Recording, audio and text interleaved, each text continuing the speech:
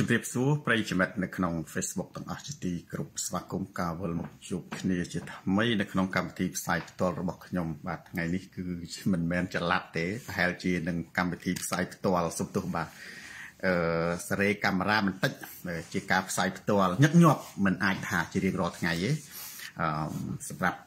ការវិលត្រឡប់មកវិញហើយខ្ញុំសូម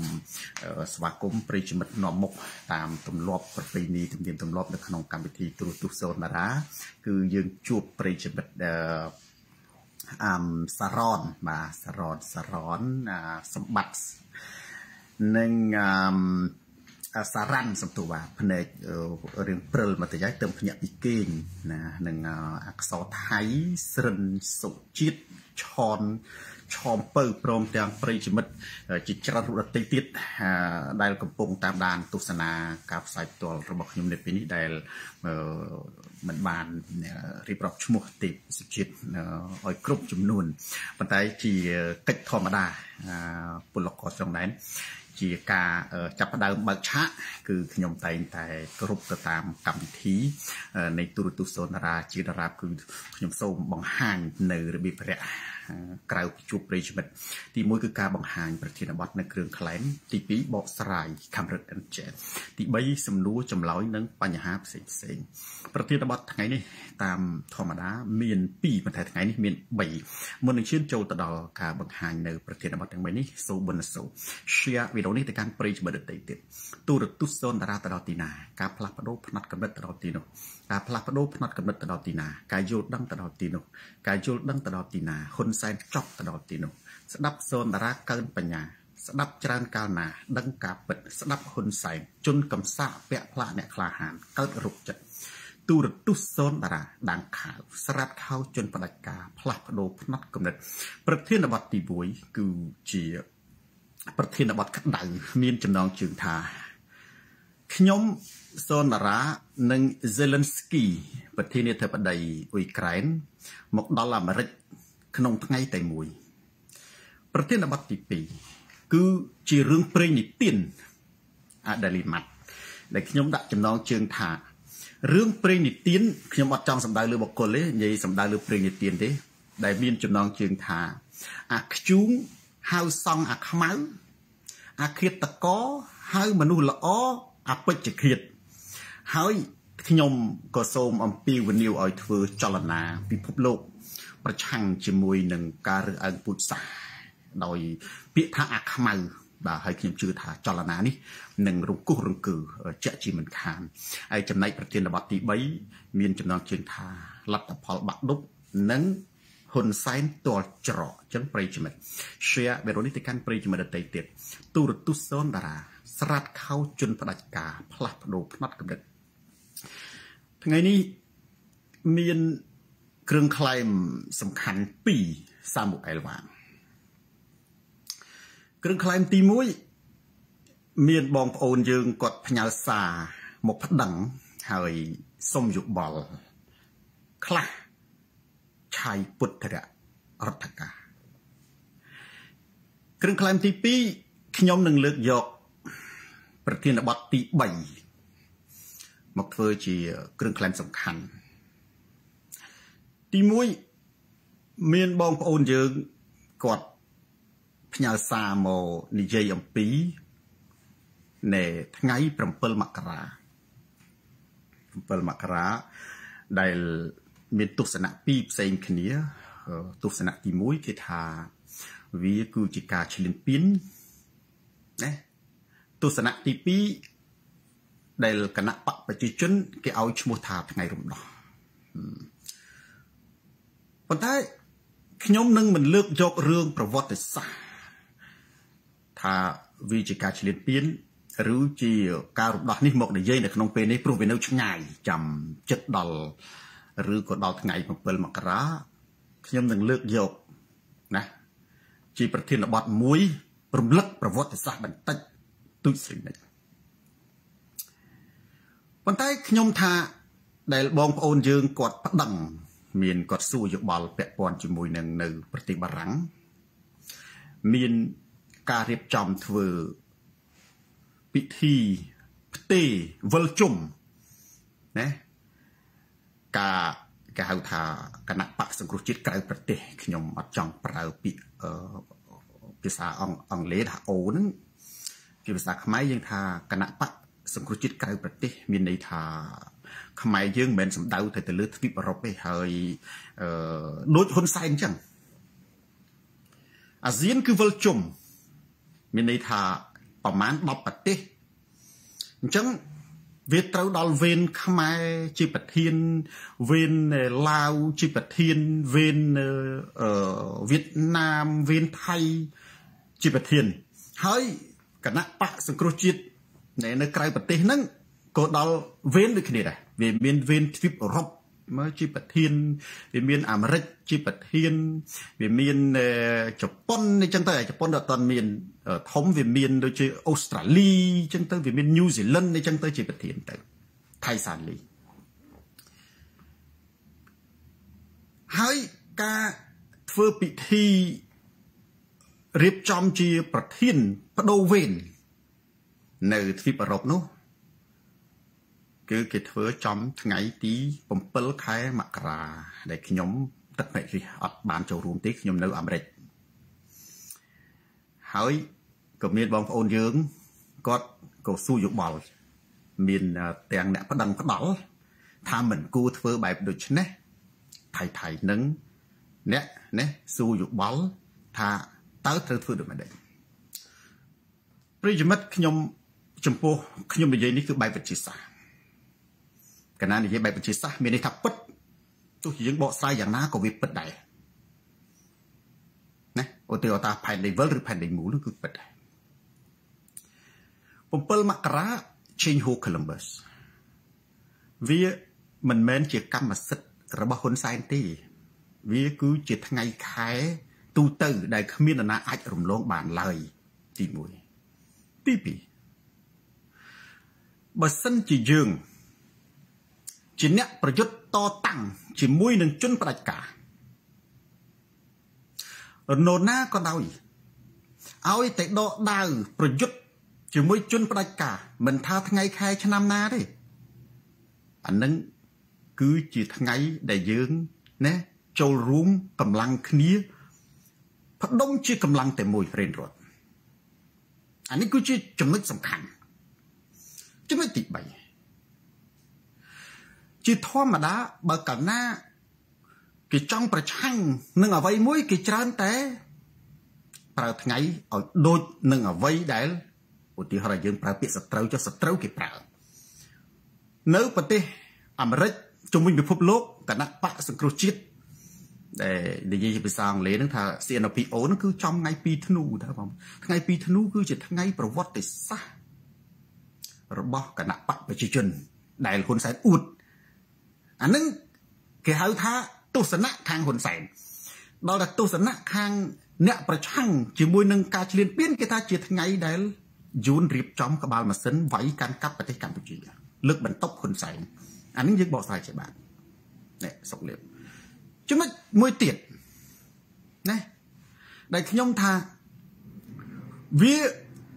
ជាការល្អ ដែលយើងប្រមូលផ្ដុំកម្លាំងគ្នា នៅចំព្រឹត្តិការណ៍សំខាន់សំខាន់ព្រោះហ្នឹងវាជាព្រឹត្តិការណ៍សំខាន់សំខាន់ណាបើយើងណាធ្វើខុសពីហ្នឹងវាអាចវាខុសអំពីព្រឹត្តិការណ៍សំខាន់ហើយបើយើងនិយាយអាចចំអកលេងសើចទៅចុះថាយឹករួចបើសិនជាយើងយល់ថាយើងធ្វើកម្មវិធីជប់លៀងយើងធ្វើអាពីពិពាណា យើងកើតកូន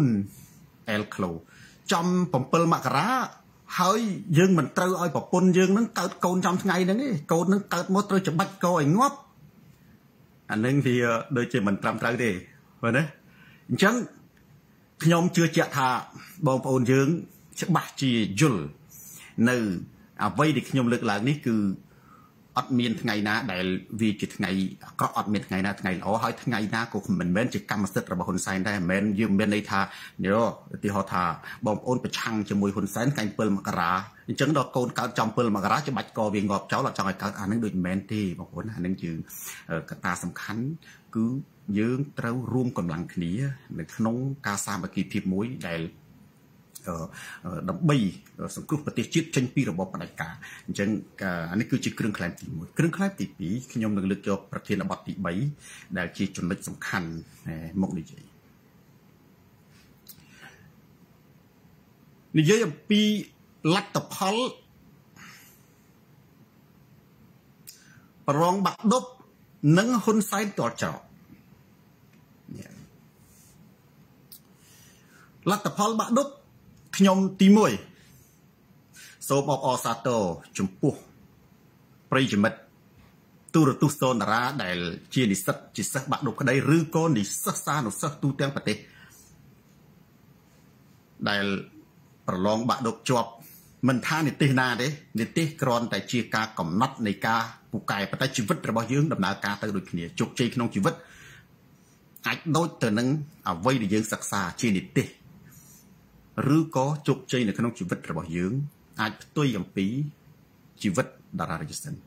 នៅក្នុងក្រដាស់ដែលយើងរៀនប៉ុន្តែទោះយ៉ាងណា ជារឿងល្អវិជ្ជមានខ្ញុំសូមចូលរួមអបអរសាទរនេះសម្រាប់លទ្ធផលនេះប៉ុន្តែបងប្អូនច្បាស់ជាឃើញពាក្យមួយ នៅត្រង់ចំណុចហ្នឹងថាហ៊ុនសែនទាល់ច្រក តើហ៊ុនសែនទល់ច្រកឈ្គូសមួយដើមនៅចំណុចណា មុននឹងចូលដល់ហ៊ុនសែនទល់ច្រកនេះខ្ញុំរំលឹករឿងសំណួរដែលខ្ញុំសរសេរនៅក្នុងអត្ថបទប្រឡងបាក់ដប់ប្រវត្តិសាស្ត្របន្តិចតាមខ្ញុំចាំមានដូចជាប្រហែលជា2 3សំណួរដែលខ្ញុំចាំណាហើយសំណួរដែលខ្ញុំលើកឡើងនេះចម្លើយដែលខ្ញុំនិយាយនេះខ្ញុំបានសរសេរនៅក្នុងអត្ថបទ វាគឺជាចម្លើយពិតដែលបើអ្នកណាសរសេរនៅក្នុងរបបហ៊ុនសែនអ្នកនោះគឺទទួលបានពិន្ទុ0ហើយនេះបានខ្ញុំលើកយកអានេះមកនិយាយពីព្រោះខ្ញុំចង់បញ្ជាក់ថា នៅពេលណាដែលរបបមួយคล้ายคล้ายដឹកនាំដោយមនុស្សល្ងងបញ្ញវន្តនិងវិទ្យាសាស្ត្រការពិត គឺជាសត្រូវត្រូវបានគេយកទៅណាប្រហារជីវិតនេះគឺជាសច្ចភាពមួយនៅក្នុងប្រវត្តិសាស្ត្របងប្អូនមើលចំនួនប្រវត្តិសាស្ត្រអ្នកដែលរៀនទ្រឹស្ដីអ្នកប្រាជ្ញផ្សេងផ្សេងត្រូវបានគេយកទៅសម្លាប់ដោយសារអីដោយសារតែនិយាយការពិតនិយាយការពិតវាផ្ទុយហើយនរណាដែលនិយាយផ្ទុយអំពីការពិតដែលនិយាយថាសត្វដំរីនឹងគឺជាមន់អានឹង គឺទទួលបានមេដាយនិងការលើកដំកើង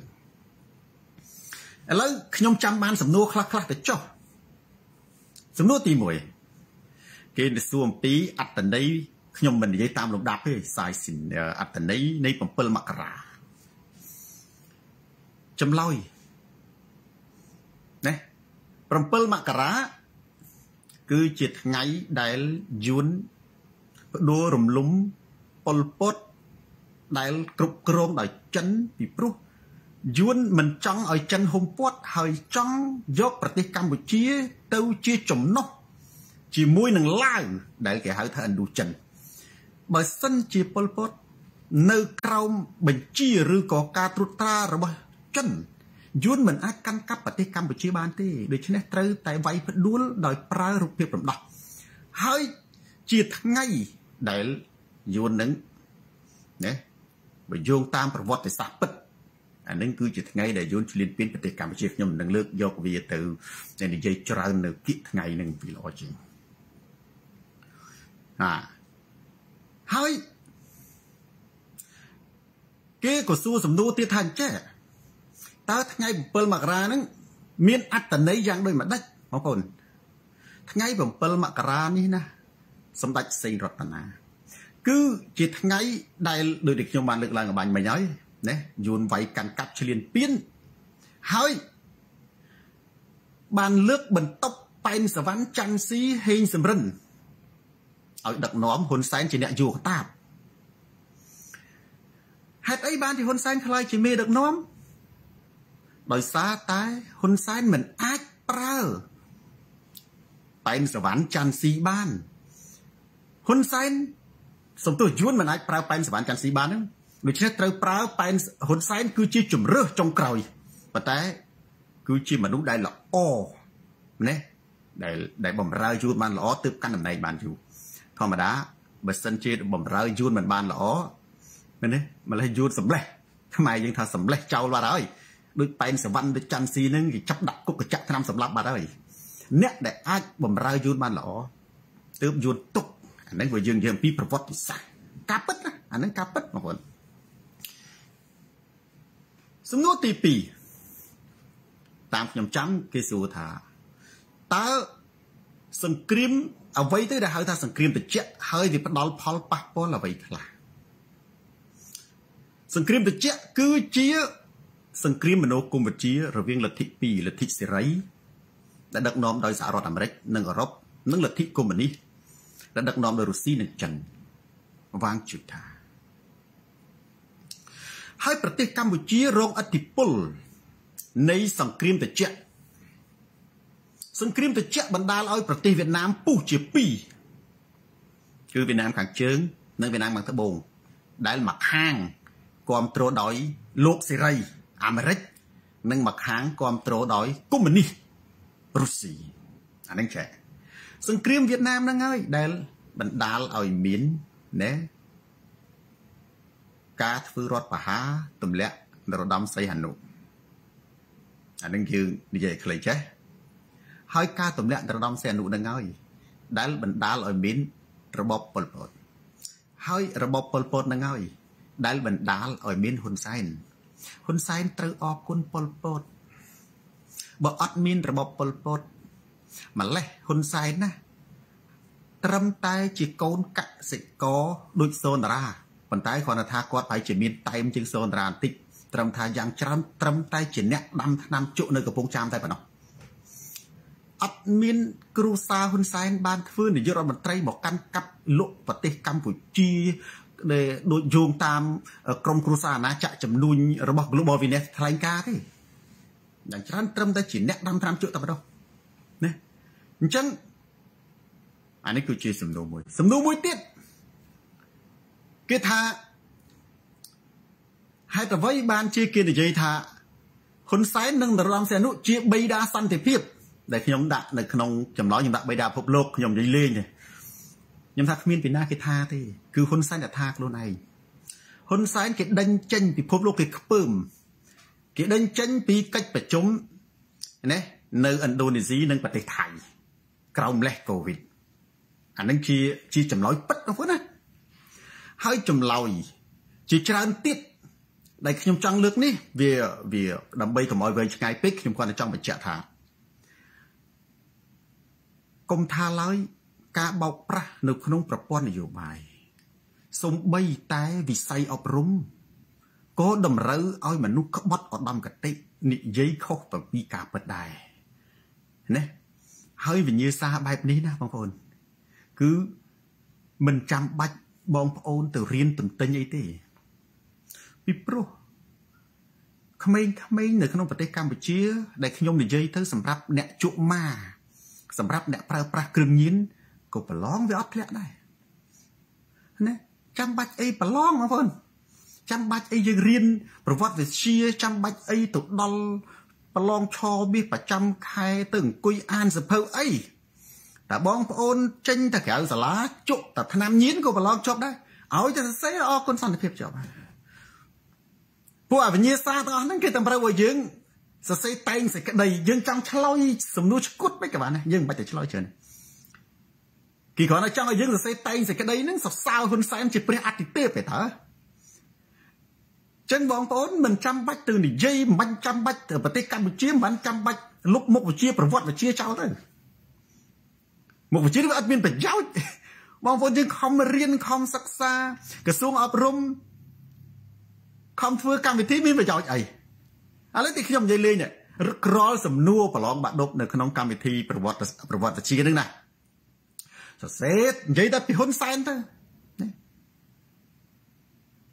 បិតាសន្តិភាពទេវតាចាត់ជាតិអធិរាជទទួលពានរង្វាន់និយាយរង្វាន់ហ្នឹងមកគ្រប់អានឹងចាំបាច់ទៅរៀនទៅអីអញ្ចឹងកន្លែងនេះខ្ញុំគ្រាន់តែនិយាយអំពីណានៅក្នុងចំណុចនេះគឺថាលទ្ធផលបាក់ដប់តែទោះយ៉ាងណាសម្រាប់និស្សិតសម្រាប់សិស្សអ្នកស្រែចូលគ្រប់ខ្ញុំអបអរសាទរចំពោះលទ្ធផលនៃការប្រឡងទុកក្នុងយ៉ាងណាក៏ដោយហេតុអីបានខ្ញុំអបអរសាទរពីព្រោះចំណេះដឹង គឺជាប្រភពនៃការផ្លាស់ប្ដូរផ្នត់កំណត់ទោះក្រោមរូបភាពណាក៏ដោយឲ្យតែមនុស្សរៀនបានខ្ពស់និងមានចំណេះដឹងរបបហ៊ុនសែនឈានទៅរកទីបញ្ចប់ព្រោះអ្វីដែលហ៊ុនសែនខ្លាចគឺចំណេះដឹងអ្វីដែលហ៊ុនសែនមិនខ្លាចគឺភាពល្ងងខ្លាំងដែលគាត់អាចគំរាមសម្លុតដល់ទិញទៅបានចុះហ៊ុនសែនតល់ច្រកធនចន្ទហ៊ុនសែនតល់ច្រកបើបងប្អូនមើល មួយផ្លែតគឺដូចហ៊ុនសែនសម្បើមប៉ុន្តែបើសិនជាបងប្អូន មើលរូបមន្តសូនតារាគឺថាហ៊ុនបូកនឹងសែនស្មើនឹងកម្រាមបូកនឹងបោកអ្វីអ្វីដែលហ៊ុនសែនដែលយើងឃើញគឺជារបស់ខ្លែងខ្លាយអានឹងមានន័យថាបងប្អូនឃើញអ្វីដែលហ៊ុនសែនបង្ហាញគឺជារបស់ខ្លែងខ្លាយទេតាមពិតហ៊ុនសែនទាល់ច្រកទាល់ច្រករឿងអីទាល់ច្រក រឿងពីរយ៉ាងទី1ទនកម្មអន្តរជាតិគ្រប់ច្រកលហកមិនឈានមិនទាន់ឈានចូលដល់ទនកម្មទេទនកម្មផ្លូវការទេគេហៅថាការថ្កោលទោសពីអន្តរជាតិគ្រប់ច្រកលហកទី2គឺវិបត្តិសេដ្ឋកិច្ចនៅក្នុងរបបហ៊ុនសែនខ្ញុំនិយាយអំពី regionalism ណាការថ្កោលទោសពីអន្តរជាតិគ្រប់ច្រកលហកបងប្អូន បើសម្រាប់គណៈបកប្រជាជនសុធិរិលេងគាត់ច្បាស់ជាសួរហើយគាត់ច្បាស់ជាសួរហើយនឹងផ្ចាញ់អានឹងខ្ញុំនិយាយពីទស្សនៈ3ចុះតើនេះទស្សនៈគណៈប្រជាជនទស្សនៈអ្នកអ្នកឆ្ងល់ហើយនឹងទស្សនៈរបស់គណៈបកប្រឆាំងទស្សនៈរបស់គណៈបកប្រឆាំងខ្ញុំមិននិយាយគឺគេស្របតាមសូនតារាហើយ តែខ្ញុំនិយាយអំពីទស្សនៈរបស់គណៈបកប្រជាជននិងទស្សនៈរបស់អ្នកឆ្ងល់ទស្សនៈរបស់គណៈបកប្រជាជន គេច្បាស់ជាឆ្ងល់ហើយនឹងគេចំអកគេថាអីឯងមិនក៏ថាអន្តរជាតិរួមគ្នាថ្កោលទៅសម្ដេចទី1អានេះខ្ញុំថាចូលកូនប្រធានបတ်តូចចុះនិយាយចូលកូនប្រធានបတ်តូចឆ្លងទៅចូលទី1នេះចុះទី1 ឯងឃើញកម្ពុជារៀបចំអាស៊ានបានជោគជ័យទេប្រទេសទាំងប្រធានាធិបតីណាអាមេរិកនិងមហាអំណាចជុំវិញពិភពលោកគេមកប្រជុំនៅប្រទេសកម្ពុជាទទួលបានជោគជ័យណាទី1ទី2ឯងមានឃើញសម្ដេចទៅក្បែរផ្ទះទេទៅបារាំងព្រោះផ្ទះខ្ញុំនៅបារាំងទៅចាប់ដីទៅចាប់ដៃប្រធានាធិបតីម៉ាក្រុងទេហា ទី3ឯងមានឃើញសម្ដេចទៅជួបប្រជាជនរាប់ពាន់នាក់នៅអឺរ៉ុបទេគ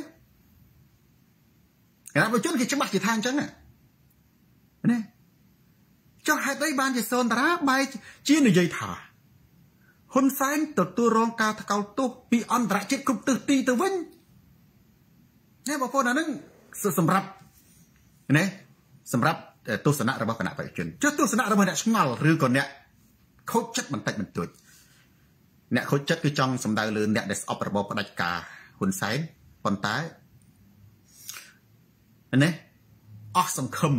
និងឈឺចាប់ជាមួយការតស៊ូដែលឃើញរបបផ្ដាច់ការហ៊ុនសែនមិនចប់ដោយសូនតារាថាក៏ចាប់ផ្ដើមមានចម្ងល់ថាទេប្រកាសសមុទ្រលោកគ្រូទៅនិយាយថាហ៊ុនសែនចេះតែចប់ហ៊ុនសែននឹងចេះតែតល់ច្រកប៉ុន្តែដល់អត់មានឃើញស្អីសោះឥឡូវនេះឃើញគេខ្ចីលុយឃើញហ៊ុនសែនខ្ចីលុយបានទៅទៀត ណាឃើញហ៊ុនសែនទៅដល់ទៅប្រជុំនៅអាមេរិកក៏ទៅប្រជុំមកដល់បារាំងក៏មកប្រជុំមែនទេអើហើយមានមនុស្សស្វាគមន៍នៅគណៈបព្វជិនថាមែនតើវាយ៉ាងម៉េចចម្លើយ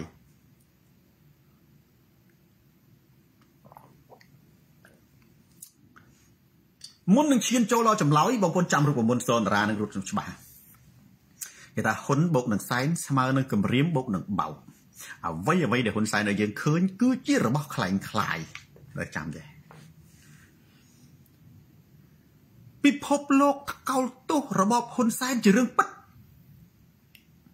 ហ៊ុនសែនបង្ហាញការចាប់ដៃជាមួយប្រធានាធិបតីម៉ាក្រុងឬក៏ការជួបប្រជាជននៅអឺរ៉ុបវាជាសម្បកវាមិនមែនជាคล้ายคล้ายជាសម្បកមានន័យថាតើបងប្អូន មានដឹងថាខ្លឹមសារគេនិយាយពីអីឧទាហរណ៍ថាបើសិនជាប្រធានាធិបតីម៉ាក្រុងបារាំងនិយាយថាខ្ញុំគ្រប់គ្រងនិងចង់ឃើញប្រទេសកម្ពុជាគោរពកិច្ចព្រមព្រៀងសន្តិភាពទីក្រុងប៉ារីមានការបោះឆ្នោតដោយសេរីត្រឹមត្រូវនិងយុត្តិធម៌បើកលំហប្រជាធិបតេយ្យតើហ៊ុនសែនយកសម្ដីនឹងមកផ្សាយក្នុងទំព័រ Facebook របស់គាត់ទេអត់ទេ អ្វីដែលហ៊ុនសែនដែលយើងឃើញគឺរូបភាពរូបភាពយើងមិនអាចទៅដកបកស្រាយឲ្យបានទេអានឹងអ្នកណាក៏ធ្វើបានដែររូបភាពហ៊ុនសែនថតជាមួយម៉ាក្រុងប៉ុន្តែយើងដឹងថាតើខ្លឹមសារគេនិយាយពីអីយើងមិនដឹងអានឹងមួយចេះខ្ញុំឧទាហរណ៍មួយទៀតចុះឧទាហរណ៍ថាខ្ញុំជឿថាម៉ាក្រុងប្រហែលជាមិននិយាយប៉ុន្តែបើគាត់និយាយទៅចុះលីអានបារារ៉េជសិន គាត់ថាសុំឲ្យណែហ៊ុនសែននឹងសម្របសម្រួលដាងខាវកុំធ្វើទុកបុកម្នេញសំរាំងស៊ីនិងដោះលែងកម្មសខាតើហ៊ុនសែននឹងយកសម្ដីរបស់ប្រធានាធិបតីម៉ាក្រុងយកបននិយាយទេខ្ញុំសួរបងប្អូនមើលអត់ទេចុះអ្វីដែលយកហ៊ុនសែនឲ្យយើងឃើញអ្វីដែលហ៊ុនសែនឲ្យយើងឃើញគាត់យកអារូបភាពជួនកាលឧទាហរណ៍ថាម៉ាក្រុងហ្នឹងគឺខ្ពើមហ៊ុនសែនណា តើហ៊ុនសែនយកអាភាសាខ្ពើមរបស់មកក្រុងនោះមកនិយាយប្រាប់មកនិយាយប្រាប់យើងទេអត់ទេសំបីតែនៅក្នុងប្រទេសកម្ពុជាពេលដែលប្រធានាធិបតីណាអាមេរិកជូបៃដិននិយាយជាមួយហ៊ុនសែនអ្នកដែលស្រង់សម្ដីជូបៃដិនហ្នឹងមិនមែនហ៊ុនសែនមិនមែន Fresh News មិនមែនទូរទស្សន៍50ប៉ុស្តិ៍មិនមែនទំព័រ Facebook របស់ហ៊ុនសែនទេណាគឺអ្នកកសែតឯករាជ្យអាស៊ីសេរីឬក៏ VOA សម្ដីសរុបបែបហ្នឹង ដែលនិយាយថាโจ Biden ចង់ស្ដារលទ្ធិប្រជាធិបតេយ្យមើលឃើញការបោះឆ្នោតត្រឹមត្រូវនិងដោះលែងសេងធារីហ៊ុនសែនមាននិយាយណាឧទាហរណ៍ថាបើសិនជាសារព័ត៌មានយកអត់បានដូចនៅដូចនៅបារាំងដូចហ៊ុនសែនមកអឺរ៉ុបមានអ្នកសារព័ត៌មានណាមានតែពួកអឆ្កែរត់ចោលសន្តិភាពនឹងហ៊ុនសែនដឹកចេញពីស្រុកខ្មែរមកឯតាអញ្ចឹងចង់ហ៊ុនសែនថាមិនជាមួយម៉ាក្រុងអ្នកណាយកព័ត៌មានយើងអត់ដឹងអូខេនេះហើយ នៅក្នុងប្រទេសកម្ពុជាដែលខ្ញុំនិយាយថារឿងโจ Biden ដែលគាត់ជួបហ៊ុនសែនហ្នឹងតើបងប្អូនមានដឹងថាโจ Biden និយាយមិនជប៉ុនដែលនិយាយជាមួយហ៊ុនសែនហ្នឹងតាមឆ្លឹកព័ត៌មានមកគឺគេចង់ឲ្យមានការបោះឆ្នោតសេរីត្រឹមត្រូវយុត្តិធម៌កុំកាប់សម្លាប់សេរីភាពតើទំព័រ Facebook ហ៊ុនសែនទំព័រ Facebook 50ប៉ុស្តិ៍របស់គណៈបកប្រជាជន Fresh News គេដាក់យកនៅមកនិយាយទេ មានពីណាគេមិននិយាយទេគេនិយាយតែពីហ៊ុនសែនអស់ចាណាសម្បើមណាស់បានចាប់ដៃតែចាប់ដៃគេផ្ទះកាភ្លៀងមកក្រុងគឺមានទៅអស់ចាជាងហ៊ុនសែនមកមកធ្វើចាប់ដៃវិធានដីមកក្រុងមានអស់ចានៅបារាំងមានគេផ្ទះកាភ្លៀងមកក្រុងថ្ងៃមុនមានគេគប់ពងគប់ពងមកនៅទីក្រុងខ្ញុំរស់នៅអានេះបានវាអស់ចាជាងហ៊ុនសែនបងប្អូនប៉ះដូចគ្នាតាមានគេផ្ទះកាភ្លៀងមកក្រុងមកក្រុងគាត់ចូលទៅផ្លាប់អានេះអាមកទីក្រុងខ្ញុំនេះ មកក្រុងគាត់ទៅលេងកន្លែងនិស្សិតនិស្សិតពេទ្យមកដឹងទេពងមន់ហោះវូក៏កាត់ក្បាលមកក្រុងអានឹងវាគឺជារូបថតទីអញ្ចឹង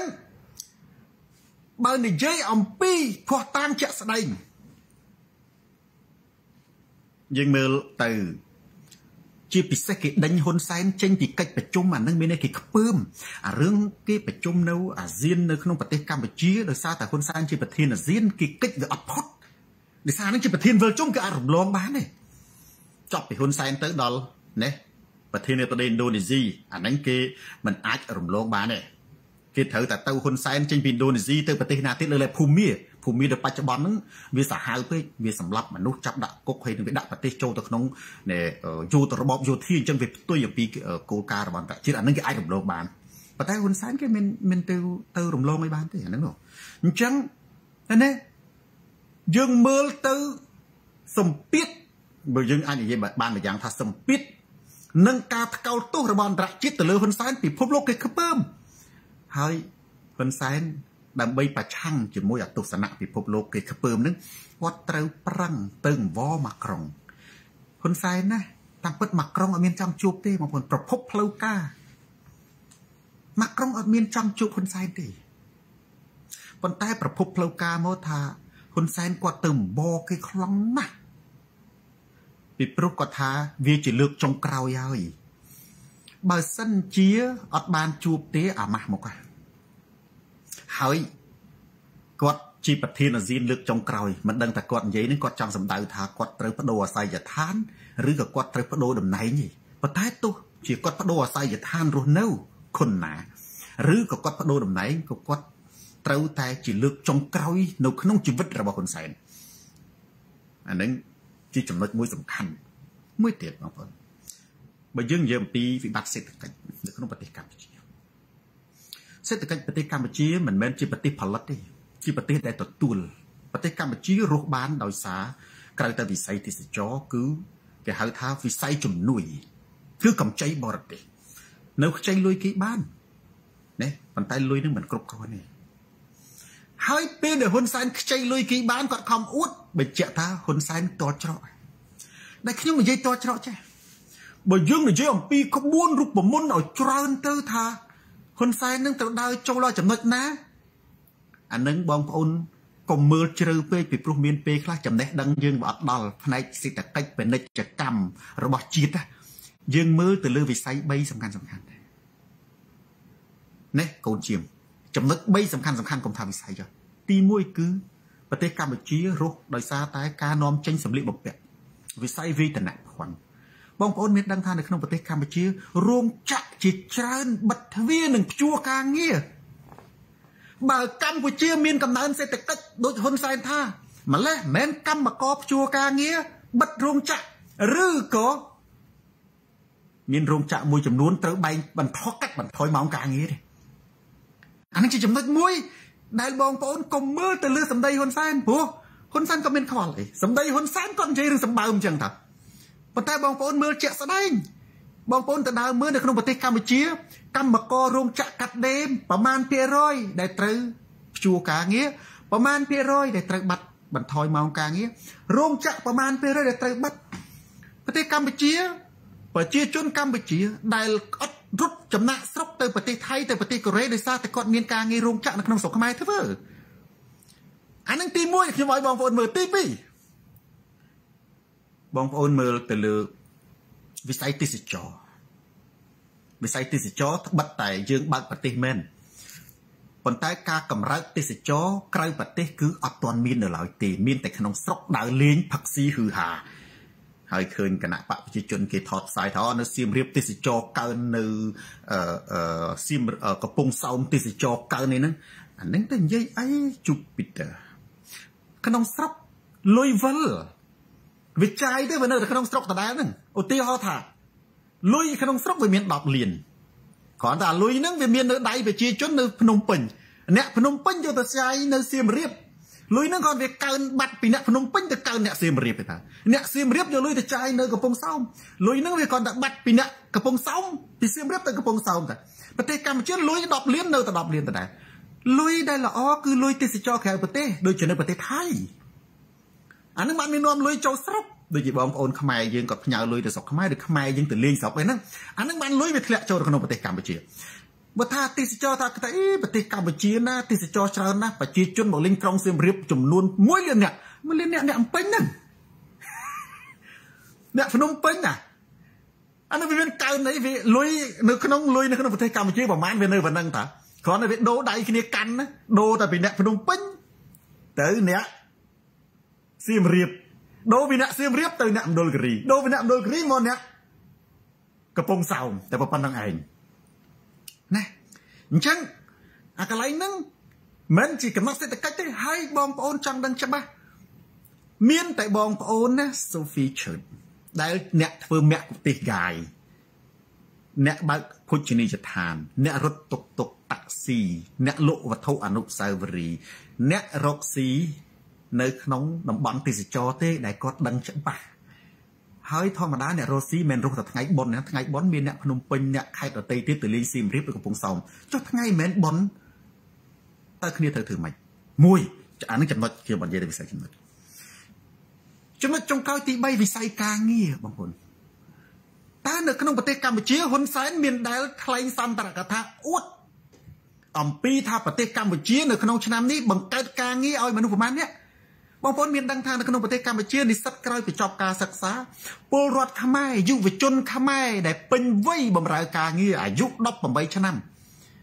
រដ្ឋាភិបាលមានដែលចុះបញ្ជីការងារថាអូអត្រាការងារនឹង graphic បើនៅស្រុកអាមេរិកនៅស្រុកបារាំងគេមានតារាងឡើងចុះនេះគេក្រសួងការងារហ្នឹងគេរាប់ការងារថាអូនៅខែនេះនៅឆ្នាំនេះការងារវាឡើងប៉ុណ្ណេះវាថយប៉ុណ្ណេះមានទេអត់មានអត់មាន គឺមានឃើញតែហ៊ុនសែនហ្នឹងមែនទេរូបថតហ៊ុនសែនដើរចែកណោយអាហ្នឹងមិនមែនជាការងារទេការងារវាឃើញមានតែហ៊ុនសែនដោកក្រឡោមនេះទេ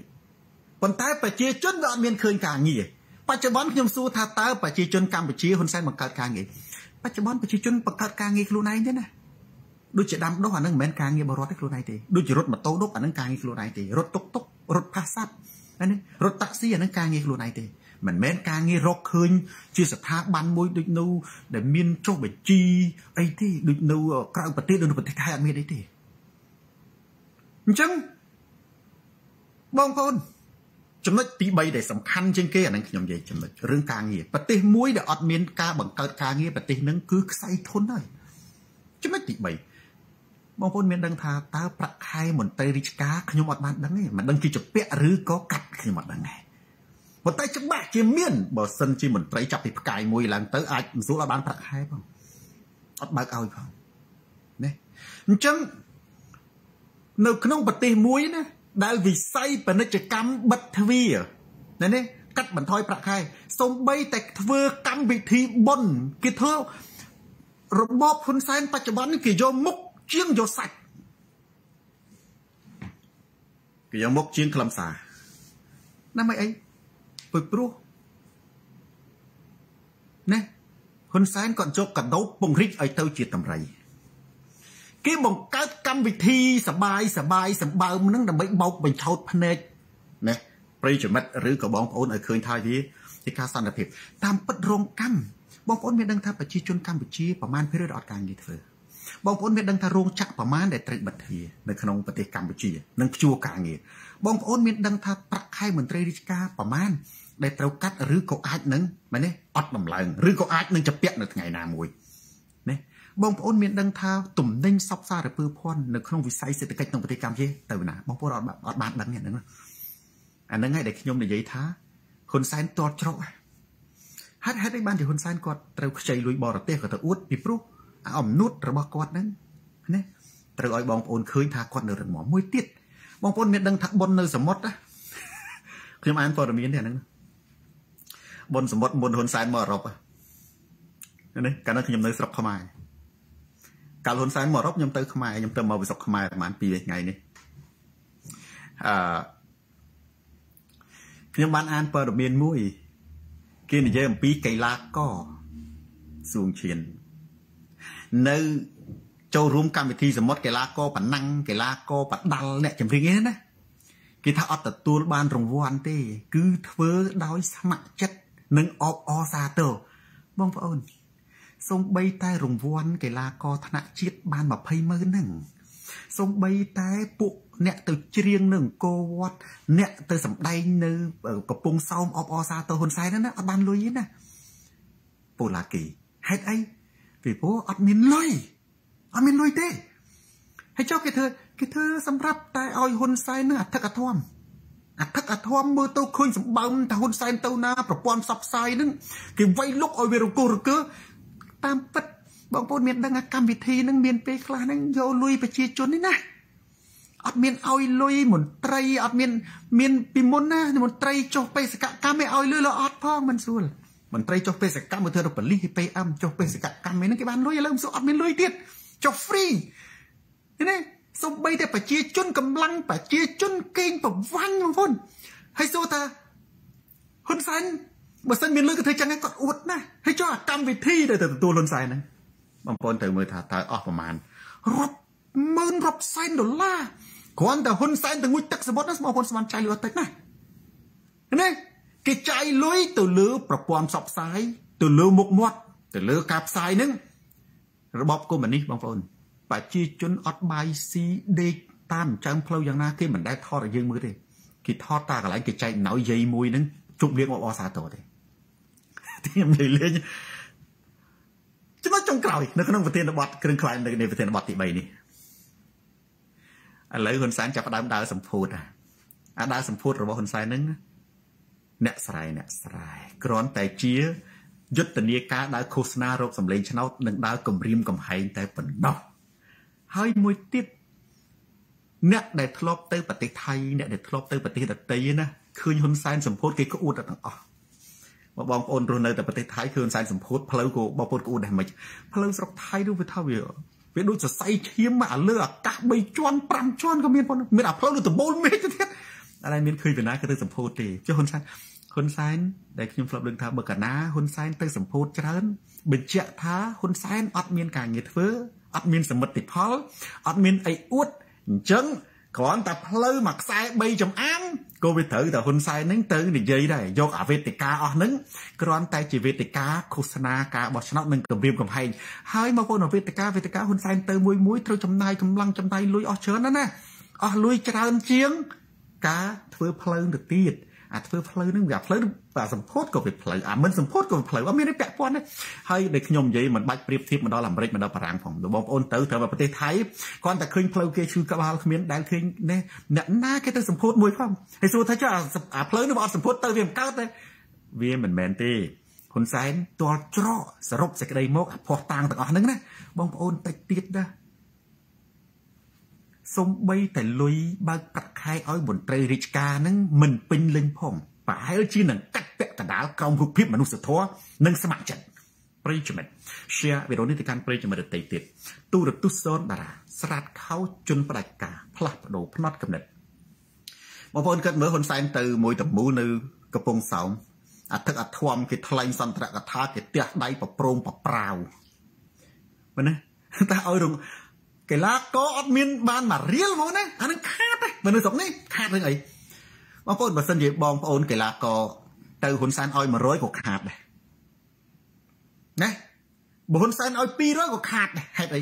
បងប្អូនត្រូវគិតថាមនុស្សយើងពេលមួយថ្ងៃទៅធ្វើការបញ្ចេញកម្លាំងត្រូវបានជាលុយម៉ារីយ៉ាទេសាលីនតាន់ណាបងប្អូនទៅសមុទ្រមានន័យថាបងប្អូននឹងបាត់បង់ការងារមួយថ្ងៃចិញ្ចឹមប្រពន្ធកូន ហើយទៅនឹងមិនមែនបងប្អូនចេះហោះទេណាបើទីថាបងប្អូនទៅចាក់សាំងទៅបើអ្នកទៅពីចម្ងាយបងប្អូនទៅចាយលុយដេកស៊ីបងប្អូនទៅកំពង់សោមបងប្អូនអត់មានដូចមិនមែនដូចបងប្អូនទៅរើសរបស់ស៊ីណាឲ្យតែចេញផុតពីផ្ទះត្រូវតែចាយលុយហើយអានេះខ្ញុំហៅថាខាតណាមែនទេទោះបីយហ៊ុនសែនឲ្យ100យ៉ាងជឿនរួចខ្លួនទេសម្រាប់បងប្អូនកីឡាករដែលទៅស្ម័គ្រចិត្តណាសួរតែបងប្អូនទៅនឹងពីព្រលឹមឡើងមានហូបអីទៅហូបបាយហូបកាហ្វេហូបកាទៀវត្រូវមានកន្លែងស្នាក់នៅ ត្រូវដូរសម្លៀកបំពាក់ត្រូវទៅលេងទឹកសមុទ្រត្រូវជិះកក់ត្រូវជិះឡានត្រូវជិះម៉ូតូត្រូវចាក់សាំងហើយត្រឡប់មកផ្ទះវិញខាតអានឹងមិនអស់លុយយ៉ាងបងណាចាប់ពាក់ថោកទាបហ្នឹងមកដល់តនេះមុននឹងឈានចូលទៅដល់ប្រធានបទទី1ណែមិនប្រធានបទក្តៅនេះនឹងជាការជួយដំណឹងបាទខ្ញុំនិយាយនេះជ្រុំមើលវិញបន្តិចទៅសេណាវចុះចំណែកគណៈបកប្រជាជនគេនិយាយថាអេឯងនិយាយថាអន្តរជាតិណា នេះថ្កោលទោសហ៊ុនសែនណាម៉េចបើទៅអឺរ៉ុបហ្នឹងអ្នកចូលរួមបាតកម្មប្រឆាំងជាមួយហ៊ុនសែនមានហ៊ុនសែនតែ67គាត់បូកទាំងអ្នកថតហើយចំណែកអ្នកដែលទៅទទួលគាត់នឹងមានរហូតដល់2000ថ្ងៃនេះខ្ញុំពេញចិត្តសារលោកប្រធានសំស៊ីនិយាយមួយម៉ាត់ត្រូវព្រោះហៅសារ logic លោកប្រធានសំស៊ីនិយាយទៅនឹងគឺត្រូវអត់មានខុសតាណាសោះកុំថាឡើយ99%ធនចន្ទថាប្រហុក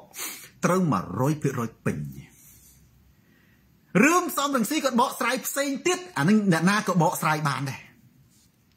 ប៉ុន្តែរឿងចំណុចមួយដែលគាត់និយាយត្រូវបំផុតគឺថាបើជួលមនុស្សកុំថាឡើយ5000នាក់50000ក៏បានដែរហើយមិនបាច់ទៅជួលខ្មែរទេ មើលតែអាណាមុខដូចខ្មែរណា ឲ្យទៅលុយវាទៅវាទៅអង្គុយយកចំនួនឲ្យថតទៅដឹកតាខ្មែរមុខតដែលតដែលពីស្រុកខ្មែរមកតែ100នាក់ឲ្យអង្គុយមុខបងប្អូននៅស្រុកបារាំងនេះណានៅស្រុកអឺរ៉ុបនេះទូទាំងពិភពលោកមានតែអ្នកស៊ីឈ្នួលដូចតែគ្នាថាសំស៊ីនិយាយតែនឹងត្រូវបងនឹងតែនឹងគឺអត់មានខុសសោះសណាន់ថៃអានិយាយកន្លងមកអានឹងបងដែលខ្ញុំនិយាយធម្មតាមានរឿងណាក៏នឹកឃើញនិយាយតែហ្នឹង វាត្រូវគាត់ថាត្រូវគាត់ថាហ៊ុនសែនជួលធម្មតាហៅមនុស្សទៅផឹកស៊ីវាតៃតែមានចំនួនច្រើនជាងហៅមនុស្សទៅបាតកម្មអើវាពិតមែនឬអាកាសធាតុត្រជាក់អើត្រូវព្រោះនោះក៏មានជីជនហោះគេទៅមុន2 3ថ្ងៃឯណោះពួកអ្នកទៅទទួលហ៊ុនសែនគេទៅទៅដេកសន្តាគារមុនមែនទេគេដេកមុន2 3ថ្ងៃឯណោះមិនដូចយើងមានណាលុយទៅដេកសន្តាគារបើយើងសិតអ្នកធ្វើការទៅនឹងសុំច្បាប់ការងារគេធ្វើទៅពិពឹកវល់ល្ងាចចំថ្ងៃហ្នឹងថ្ងៃត្រជាក់នៅបារាំងនៅក្រុងខ្ញុំនោះតកកធ្លាក់ គេប្រកាសអាសន្នបិទក្រុងក្រុងខ្ញុំគេប្រកាសអាសន្នថ្ងៃហ្នឹងបាទបិទបិទក្រុងហ្នឹងគឺបិទផ្លូវរថភ្លើងបិទផ្លូវមួយចំនួន ដែលព្រោះវាអាចទៅអិលដួលធ្លាក់ណាពេលប្រវត្តិសាស្ត្រគឺដក17ដក17អាហ្នឹងនៅអាមេរិកគេគិតជានៅ Fahrenheit មិននឹងប្រមាណបើបងប្អូនអាចកណនាមើលដក17នៅកាណាដាវាអ្នកស្វាមឯងបើតែនៅអឺរ៉ុបដូចកម្រយូរយូរម្ដងហើយបិទបងប្អូនណារៀបបិទផ្លូវមកគ្រោះថ្នាក់ចរាចរណ៍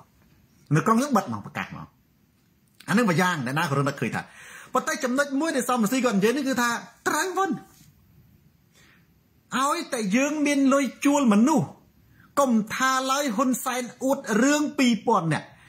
ទោះជា5000នាក់ក៏មានមនុស្សដែរហើយមិនបាច់ចាំជួលខ្មែរក៏បានដែរណាមិនបាច់ចាំជួលខ្មែរទេយកតែអាណាមុខដូចខ្មែរឲ្យតែម្នាក់200 ជួលយន្តហោះសន្តាគារហូបបាយអាណាមិនចង់ទៅបងប្អូនមនុស្សដើរលេងអស់លុយអារឿងដើរលេងហើយកុំច្រឡំណាអ្នកនៅអឺរ៉ុបខ្លះអត់ដែលស្គាល់ Brussels ទេណាអត់ដែលស្គាល់ Belgium ទេណាអ្នកនៅអឺរ៉ុបខ្លះនៅខេត្តណានៅតែខេត្តហ្នឹងបានហ៊ុនសែនហៅទៅ Swiss ហៅទៅ Geneva អានេះហៅទៅ Brussels Brussels អង់គ្លេសហៅ Brussels នេះបានហ៊ុនសែនហៅទៅប៉ារី ឧទាហរណ៍ចេះហើយបងប្អូនខ្លះមកជីវិតនេះបើនៅបារាំងមែននៅអឺរ៉ុបមែនតែបានមានបានដើរលេងណាបានលុយម្នាក់200ណាហើយដឹកពីស្រុកខ្មែរមករឿងអីណែគេមិនទៅបងប្អូនប៉ុន្តែខ្ញុំពេញចិត្តចម្លើយគាត់និយាយតនេះមួយគាត់ថាមានលុយកុំថាគាត់ប្រាប់ទៅផ្ដាំទៅហ៊ុនសែនកុំមកប្រាក់20000ឯងសំស៊ីគាត់ចង់ថា2000អ៊ូស្អីមកមានលុយហ៊ុនសែន មែនទេចង់យក50000ក៏បានដែរសំស៊ីក៏នេះដែរចង់យក50000ក៏បានដែរឲ្យតែមានលុយជួលមិនបាច់ជួលខ្មែរក៏បានដែរមិនបាច់ទៅរកប្រឹងរកខ្មែររកតែអាណាមុខដូចខ្មែរបន្តិចក៏បានដែរឲ្យតែម្នាក់ពីររកបងប្អូនទៅមនុស្សពេញសាលរកតែសាលដាក់ម៉ានផងហេតុអីរឿងនេះរឿងពិតចាបងប្អូនការជួលមនុស្សកុំថាឡើយជួលទៅផឹកស៊ីផ្ទះដៃមានអ្នកខ្លះរកស៊ីមុខរបរយំតា តែមុខរបរយំនៅអាមេរិកមានដែរតែដឹងខ្ញុំអត់ដឹងនៅអាមេរិកមានដឹងបងអត់ទេអត់ទេណាតែមានតែដឹងប៉ុន្តែដូចនៅស្រុកចិនមានមុខរបរយំប្រទេសខ្លះមុខរបរយំមិនទេពេលបនខ្មោចគេជួលមនុស្សឲ្យទៅយំបងប្អូនមែនទេមុខរបររួមអាហ្នឹងដឹងមាននៅប្រទេសខ្មែរនៅប្រទេសណាក៏មានដែរអកកេះពីដើមអត់មានតែមុខរបររួមខ្មែរយើងទៅកើតថ្មីទៅកើតតែ10ឆ្នាំនេះណា ពីដើមមានអ្នកចម្រៀងនេះប្រុសមួយស្រីមួយរាំឥឡូវអ្នកចម្រៀងផ្សេងទៅស្រីស្រីហ្នឹងនៅលើឆាកផ្សេងទៅកថើតកថើតកថើតហ្នឹងទៅអានឹងបន្ថែមការងារធ្វើហើយការងារហ្នឹងមិនមែនការងាររាប់បកើតទេណាការងារបកើតខ្លួនឯងរាប់ត្រូវអរគុណគេហេមើលអ្នកនៅអាមេរិកនៅនៅបារាំងខ្ញុំអត់តនឹងច្បាស់ថាមានមុខរបរយំមានមុខរបរយំហ្នឹងបងប្អូនឲ្យតែមានលុយពេលបនខ្មោចណា គេចង់ធ្វើឲ្យអាកម្មវិធីនឹងសោកសៅកាន់តែខ្លាំងគេជួលមនុស្ស20នាក់ទៅពេលឲ្យលើកសពចូលមកឈូសនឹងគេយំបោកខ្លួនយ៉ាអាពួកនឹងវាមានយំស្អីវាវាយំបោកខ្លួនទួញធ្វើឲ្យយើងនោះវាធូរវាយំអស់ពីក្នុងចិត្តតែវាធូរទ្រូងរៃក្បាលខៀវមកគ្រាន់តែមកយំគេ គេស៊ីបានបងប្អូនចុះតម្រាំហ៊ុនសែនជួលមនុស្សដែលសំរងស៊ីថា2000តិចចានេះជួល50000ណោះហើយមិនបាច់ចាំយកខ្មែរក៏បានដែរយកមើលទៅអាណាមុខដូចខ្មែរទៅទទួលលន់សែនបងប្អូនណាខ្លាញ់ខ្លាយទេណាបើហ៊ុនសែនខ្លាំងរៀបចំការបោះឆ្នោតទៅទៅនិយាយអីអាការយកមនុស្សមកទទួលនឹងរកតាអាណាមុខ តែខ្ញុំពេញចិត្តសំស៊ីក៏និយាយតែហ្នឹងខ្ញុំសោចថ្ងៃនេះខ្ញុំសោចថាវាវាត្រូវពេកបងប្អូនវាត្រូវពេកគាត់ថាមកទៅ2000អ្នកមានសម្បើមនេះមើលនេះជួលមនុស្សឲ្យប៉ុណ្ណឹងមានលុយបែហ៊ុនសែនដែរចង់50000អ្នកក៏បានដែររសាលមកសំស៊ីក៏ចង់ថា1លានក៏បានដែរនេះហើយមិនបាច់ជួលខ្មែរមើលទៅអាណាមុខដូចខ្មែរដើរបោកដៃរើសមកឲ្យ200ហ្នឹងឡើងជាយន្តហោះសបាយនឹងអីហ្នឹងអាអ្នក គ្នាយើងទៅធ្វើបាតកម្មណាសិតចេញពីទឹកចិត្តបងប្អូនហើយមួយទៀតបើហ៊ុនសែនច្បាស់នរៈវឌ្ឍនារៀបចំការបោះឆ្នោតក្រៅប្រទេសទៅទៅជំរឿបានប្រមាណសម្លេងប្រធានបទទី1មិនមែនជាប្រធានបទក្តៅទេអានេះតាមពិតប្រធានបទក្តៅនៅប្រធានបទខ្ញុំកំពុងនិយាយនេះហើយប៊ូស៊ូនីនខ្ញុំនិយាយប្រធានបទទី1នេះខ្ញុំមិនមែនចង់ប្រៀបធៀបថាខ្ញុំនឹងស្មើសេលេនស្គីទេគាត់ថាដូចជាការជូនដំណឹងសម្រាប់ អឺពិភពលោកនិងប្រិយមិត្តដែលនិយមគ្រប់គ្រងទូរទស្សន៍សូនរានៅជុំវិញពិភពលោកនេះថាដំណើររបស់ខ្ញុំគឺមកដល់ទីនេះតែប៉ុណ្្នឹងឯងប៉ុន្តែវាជាចំណុចសារពិសេសមួយដែលបង្កប់ចិត្តមួយខ្ញុំថាក្នុងប្រធានបទនេះខ្ញុំថាសូនតារានិង Zelensky ប្រធានាធិបតីអ៊ុយក្រែនមកដល់ទឹកដីអាមេរិកផ្សេងសំណាងសូណា នៅក្នុងថ្ងៃតែមួយបើនិយាយបែបវិទ្យាសាស្ត្រពិតខ្ញុំមកដល់សារអាមេរិកម្សិលមិញ Zelensky មកដល់ម្សិលមិញដែរម៉ោងតែមួយទៀតគឺព្រឹកដូចគ្នាមែនទេមុនម៉ោង12ដូចគ្នាទៀតប៉ុន្តែហេតុអីបានថ្ងៃនេះទើបផ្សាយផ្ទាល់ពោះម្សិលមិញមកអស់កម្លាំងមែនមកដល់គឺឃើញបន្ទប់ដាក់បាច់ផ្លឹប សម្រាប់ទើបតែភ្ញាក់មុននេះចូលដល់ថ្ងៃទី2បានរៀបចំផ្សាយផ្ទាល់សូម្បីតែថតថតនៅអាមេរិកណាក៏អត់បានដែរចេញតែពីយន្តហោះបងប្អូនយើងក៏ដឹកចូលទៅញ៉ាំអីហើយចេញពីញ៉ាំអីមកហ្នឹងក៏ចូលមកក្នុងបន្ទប់ក៏រាត្រីសួស្ដីទៅហើយថ្ងៃនេះជួបប្រិយមិត្តត្រឡប់មកទូរទស្សន៍សូនតារាវិញ Team Rice អញ្ចឹងសារតានេះខ្ញុំចង់បញ្ជាក់គាត់ថាទី1ជាដំណឹងទី2ខ្ញុំចង់ថាចេះបងប្អូនឲ្យតែយើង ឈរខាងលទ្ធិប្រជាធិបតេយ្យតស៊ូពិភពលោកនៅជាមួយយើងកាពិតពិភពលោកនៅជាមួយយើងពិភពលោកគេមិនអាចបញ្ជូនពីព្រោះអាមេរិកមិនមែនជារដ្ឋាភិបាលពិភពលោកមិនមែនជាទាហានពិភពលោកមិនមែនជាប៉ូលីសពិភពលោកដែលប្រទេសណាអាមេរិកទៅទេគេអាចធ្វើចឹងវាខុសច្បាប់អន្តរជាតិ ប៉ុន្តែបើគេជួយគ្រប់គ្រងទឹកចិត្តសំទោសប្រិយមិត្តមែនទេគេជួយកម្លាំងចិត្តគេជួយគ្រប់គ្រងអានឹងមានន័យថាជាជំនួយអស្ចារ្យបំផុតដែលរកមិនបានទេដល់លីអ៊ុយដែលរកអត់បានទេហើយខ្ញុំចង់និយាយនេះខ្ញុំចង់ថា ការតស៊ូនៅលើឆាកអន្តរជាតិបើកាលណាពិភពលោកទទួលស្គាល់យើងអត់បាត់បង់ទេហើយការតស៊ូដែលមិនបាត់បង់គឺជាការតស៊ូដែលមានកម្រិតនៃការតស៊ូមួយលះបង់ខ្ពស់រហូតដូចនៅប្រទេសអ៊ុយក្រែនតលតែណាដល់អាយុជីវិត មនុស្សតស៊ូជាមួយជនផ្ដាច់ការទៀតប៉ុន្តែ ការតស៊ូមួយដូចជាខំមកត្រឹមត្រូវដូចជាអតបអតុញ ដែលគ្រាន់តែលេសលោះដើម្បីដូរយកតំណែងចូលគណៈបកប្រជាជនបានតែងតាំងជាស្អីណា ទីប្រឹក្សារដ្ឋាភិបាលទីប្រឹក្សាហ្នឹងអានឹងគឺពិភពលោកអត់ដែលនៅជាមួយពួកអតតអតញ្ញនិងខំមកត្រឹមត្រូវទេពិភពលោកមិនថាអាមេរិកទេបងប្អូនពេលក្នុងកំឡុងពេលតែមួយប្រធានាធិបតីមកក្រុងបារាំងក៏ចេញសេចក្តីថ្លែងការណ៍គ្រប់គ្រងដែរមានន័យថាគេតែងតែនៅជាមួយការតស៊ូចនិច អានេះមួយមែនទេមួយទៀតប្រហែលជាបើសិនជាខ្ញុំសរសេរបងប្អូនគាត់តែមើលអត្ថបទនេះថាអឺណែសូនតារាมันអាចទៅប្រៀបធៀបជាមួយ Zelensky បានទេ Zelensky គេមកអាមេរិកគេទៅជួបប្រធានាធិបតីអាមេរិកគឺ Joe Biden ហើយចំណែកសូនតារាមែនទេមកអាមេរិកគ្មានជួបប្រធានាធិបតីអីទេដោយតែសំរងស៊ីយើងយ៉ាងច្រើនបានដើរថតជុំវិញនៅសេតវិមានតែនេះ ខ្ញុំរំលឹកដល់សារលោកប្រធានសំស៊ីនិយាយតែនេះត្រូវមួយទៀតអូនណាត្រូវនឹងគឺមហាត្រូវត្រូវអត់មានខុសសោះហ៊ុនសែននៅលើពិភពលោកយើងនេះគេមានច្បាប់អភ័យឯកសិទ្ធិថ្នាក់ដឹកនាំប្រទេសមិនថាអ្នកនោះជាស្អីទេឲ្យតែអ្នកនោះជាថ្នាក់ដឹកនាំរបស់ប្រទេស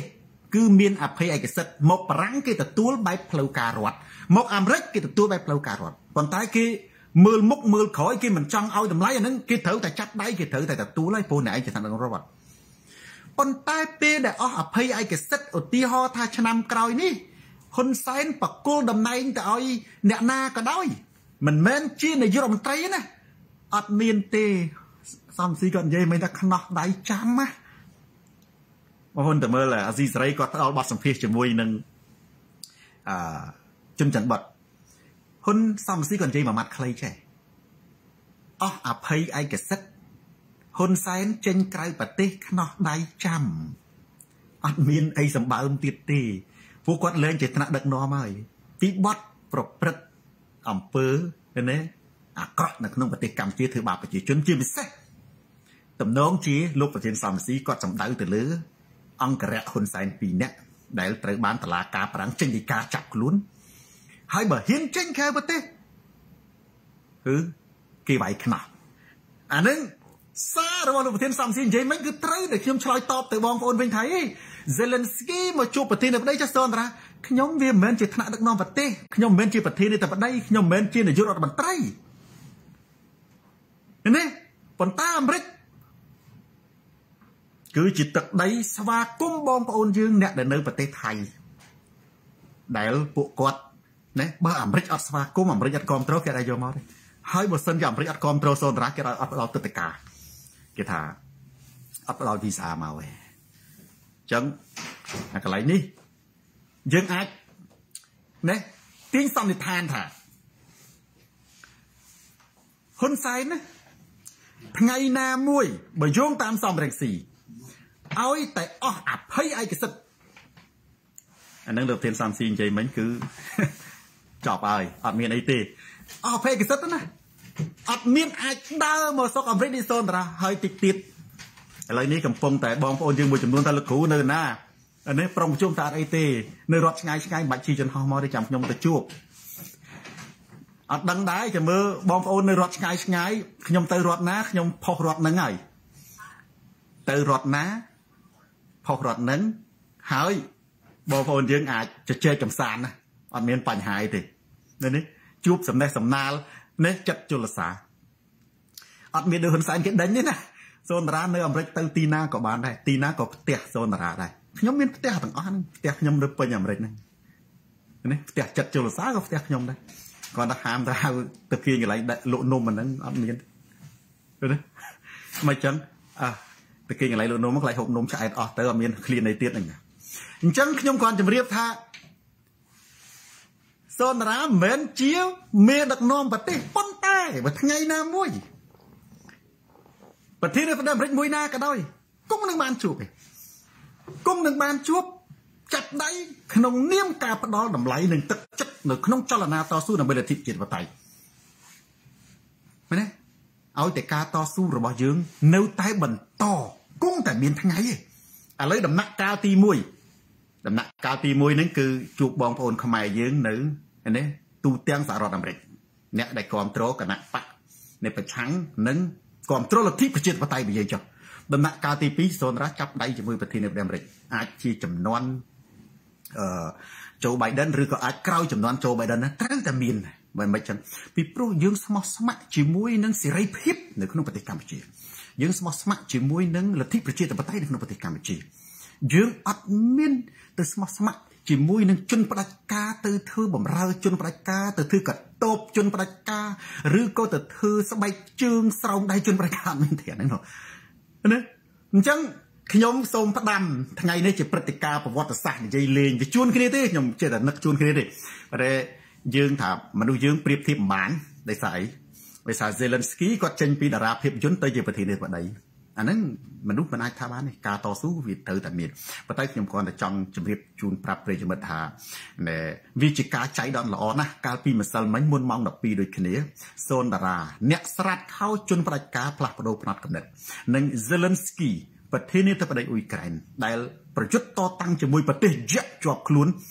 មកដល់សហរដ្ឋអាមេរិកក្នុងពេលតែមួយណាហើយបងប្អូនយើងក៏ថា បើសិនជាសូនតារាមកអត់មានទៅជួបទៀតដីដូចខ្ញុំលើកឡើងសម្ដីសំរស៊ីនិយាយបាញ់មិញអញ្ចឹងគឺហ៊ុនសែនបើអស់ពីតំណែងនាយករដ្ឋមន្ត្រី ជាប្រជាជនសាមញ្ញដូចសូនតារាខ្នោះនៅក្រៅប្រទេសអានឹងខ្ញុំថាតាមគាត់តែរឿងពិតពិតចាំមើលមើលបើចង់ដឹងថាសំរងស៊ីនិយាយពិតថាបើសិនជាហ៊ុនសែនអស់តំណែងពីនាយករដ្ឋមន្ត្រីហើយមកដល់ក្រៅប្រទេសគេវាយខ្នោះហ្នឹង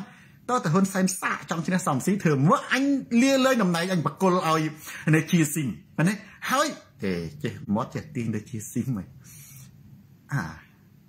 ឬមិនក៏យ៉ាងម៉េចវាចេះត្រាក់មាត់ខាងស្ដាំចេះទីងទៅហ៊ុនសែនទៅជួបជាស៊ីមអេខ្ញុំថាមិនមែនទេខ្ញុំថាចិត្តទៅឧទាហរណ៍ថាទៅសខេងទៅចោះម៉ាក់កាចនៅនេះសខេង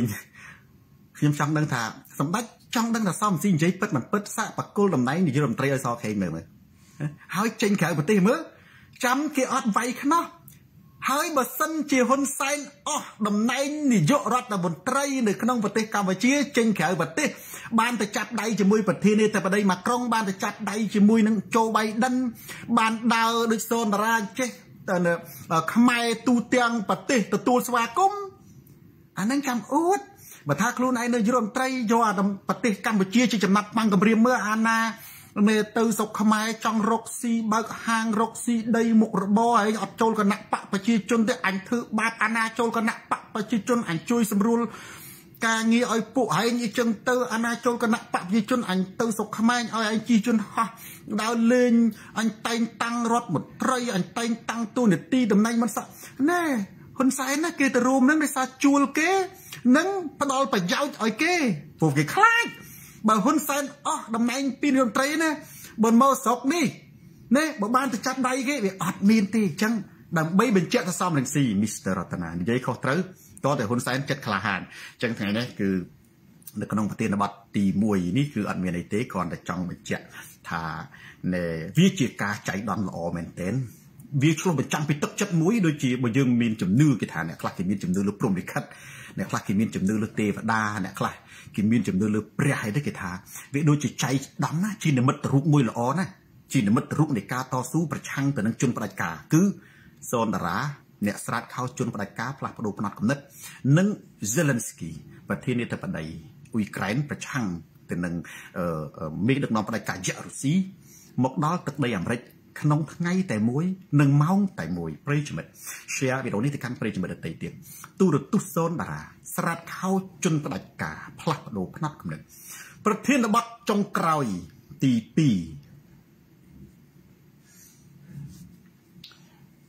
ខ្ញុំប្រធានបទនេះខ្ញុំនិយាយរឿងនីតិនេះខ្ញុំអត់និយាយរឿងហ៊ុនសែននេះប៉ុន្តែខ្ញុំឆ្លុះបញ្ចាំងអំពីហ៊ុនសែនជាឧទាហរណ៍រឿងនីតិ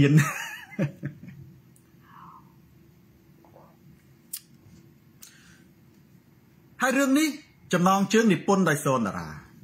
គេសួរថាលោកគ្រូរឿងនៅណាហើយឆ្លុះបញ្ចាំងពីការពិតនៅក្នុងសង្គមច្រើនខ្មែរយើងណាតកៅគិនសានគេមានទ្រឹស្ដីមួយថាអក្សរសិល្ប៍គឺជាកញ្ចក់ឆ្លុះបញ្ចាំងអំពីតថភាពសង្គមកៅមនីពៅរឿងនោះមានចំណងជើងថារឿងនិទានអាខ្ជូង ហៅសង្ឃថាអាខ្មៅអាឃាតកហៅមនុស្សល្អថាអបិជ្ជឃាតណាអានេះគ្រាន់តែជារឿងនិទានទេហេតុបានថាចឹងមនុស្សយើងបងប្អូនបើយើងដៀលគេថាអាខ្មៅវាតតែឯងនឹងវាសទៅលោកហើយមើលសម្បុរខ្លួនឯងមើលមើល Fabric ជាសម្បុរនិយាយពីខ្មៅហើយបែកសកាដៃពកឆ្អឹង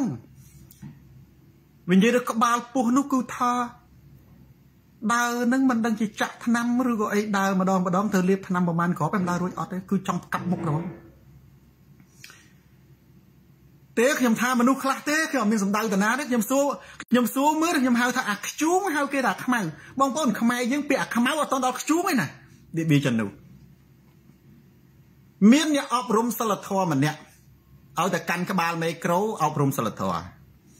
ហើយនេះគ្រប់គ្រងការប្រឆាំងការជេរប្រមាថប៉ុន្តែគ្រូអប់រំសិលធម៌នោះតែកាន់ក្បាលមេក្រូគឺដឹងតែជេរគេហ្មងប៉ុន្តែខ្ញុំអត់មានចម្លែកនេះចាត់ទុកជារឿងធម្មតាទេមែនទេហើយខ្លួនឯងនិយាយពីសម្បុរនោះថាខ្មៅជាងលោកទៅទៀតបងប្អូនណា អញ្ចឹងបាននេះខ្ញុំនិពន្ធរឿងនិទានមួយខ្ញុំនិយាយថាអាខ្ជូងហៅគេថាអាខ្មៅបើថាខ្លួនឯងសម្បុរណាវាមិនសទេមិនគួរណាហៅគេអាខ្មៅទេហៅចឹងវាត្រូវតែមើងងាយខ្លួនឯងបើខ្លួនឯងណាណាមិនមែនជាមនុស្សល្អគេថាជាមនុស្សល្អត្រឹមត្រូវនៃធៀបផងស៊ីទៅជាឃាតករកុំទៅដើរចង្អុលមនុស្សល្អថាពេជ្ជឃាតអានឹងរឿងព្រេងនិទាន ឥឡូវត្រឡប់មកឧទាហរណ៍ដូចហ៊ុនសែនវិញហឹមដូចហ៊ុនសែនគាត់ហៅណែបដិជគុណបុត្របន្ទិញថាអាខ្មៅអានឹងបើនិយាយអំពីសិលធម៌វិញយើងបាច់និយាយទេហ៊ុនសែននិមិត្តរូបនៃអសិលធម៌ហើយដែលខ្ញុំធ្លាប់ឆ្លើយសំណួរបងប្អូនយើងគាត់សួរថាចេះលោកគ្រូតើជេរហ៊ុនសែនខុសទេខ្ញុំថាខុសហើយនឹងត្រូវ ហើយប្រសូនតារានិមិត្តរូបនៃយុត្តិធម៌យុត្តិធម៌មានន័យថាខុសគឺខុសត្រូវគឺត្រូវមានបងប្អូនគាត់សួរបដិញថាខុសត្រង់ណាត្រូវខាត្រង់ណាបើសិនជាហ៊ុនសែនគាត់ណែធ្វើល្អគាត់ដំឡើងប្រាក់ខែមន្ត្រីរាជការបង្កើតការងារឲ្យប្រជាជនណានេះជួយចាស់ជរាមន្ទីរពេទ្យនៅក្នុងប្រទេសកម្ពុជាព្យាបាលដល់អត់មានរើសអើងថានេះគណៈបកប្រជាជនឬក៏ចែកបានក្រីក្រ ហើយយើងទៅជេរហ៊ុនសែនយើងខុសខ្ញុំហ៊ានថាអញ្ចឹងប៉ុន្តែបើសិនជាហ៊ុនសែនលួចជាតិណាហ៊ុនសែនជេរប្រមាថអសរអសិលធម៌ជេរលោកអតិរជេរបដិជគុណបុត្របន្ទិញថាខ្មៅយើងនិយាយជេរហ៊ុនសែនត្រូវចុះបានក្រីក្រឧទាហរណ៍បានក្រីក្របើហ៊ុនសែន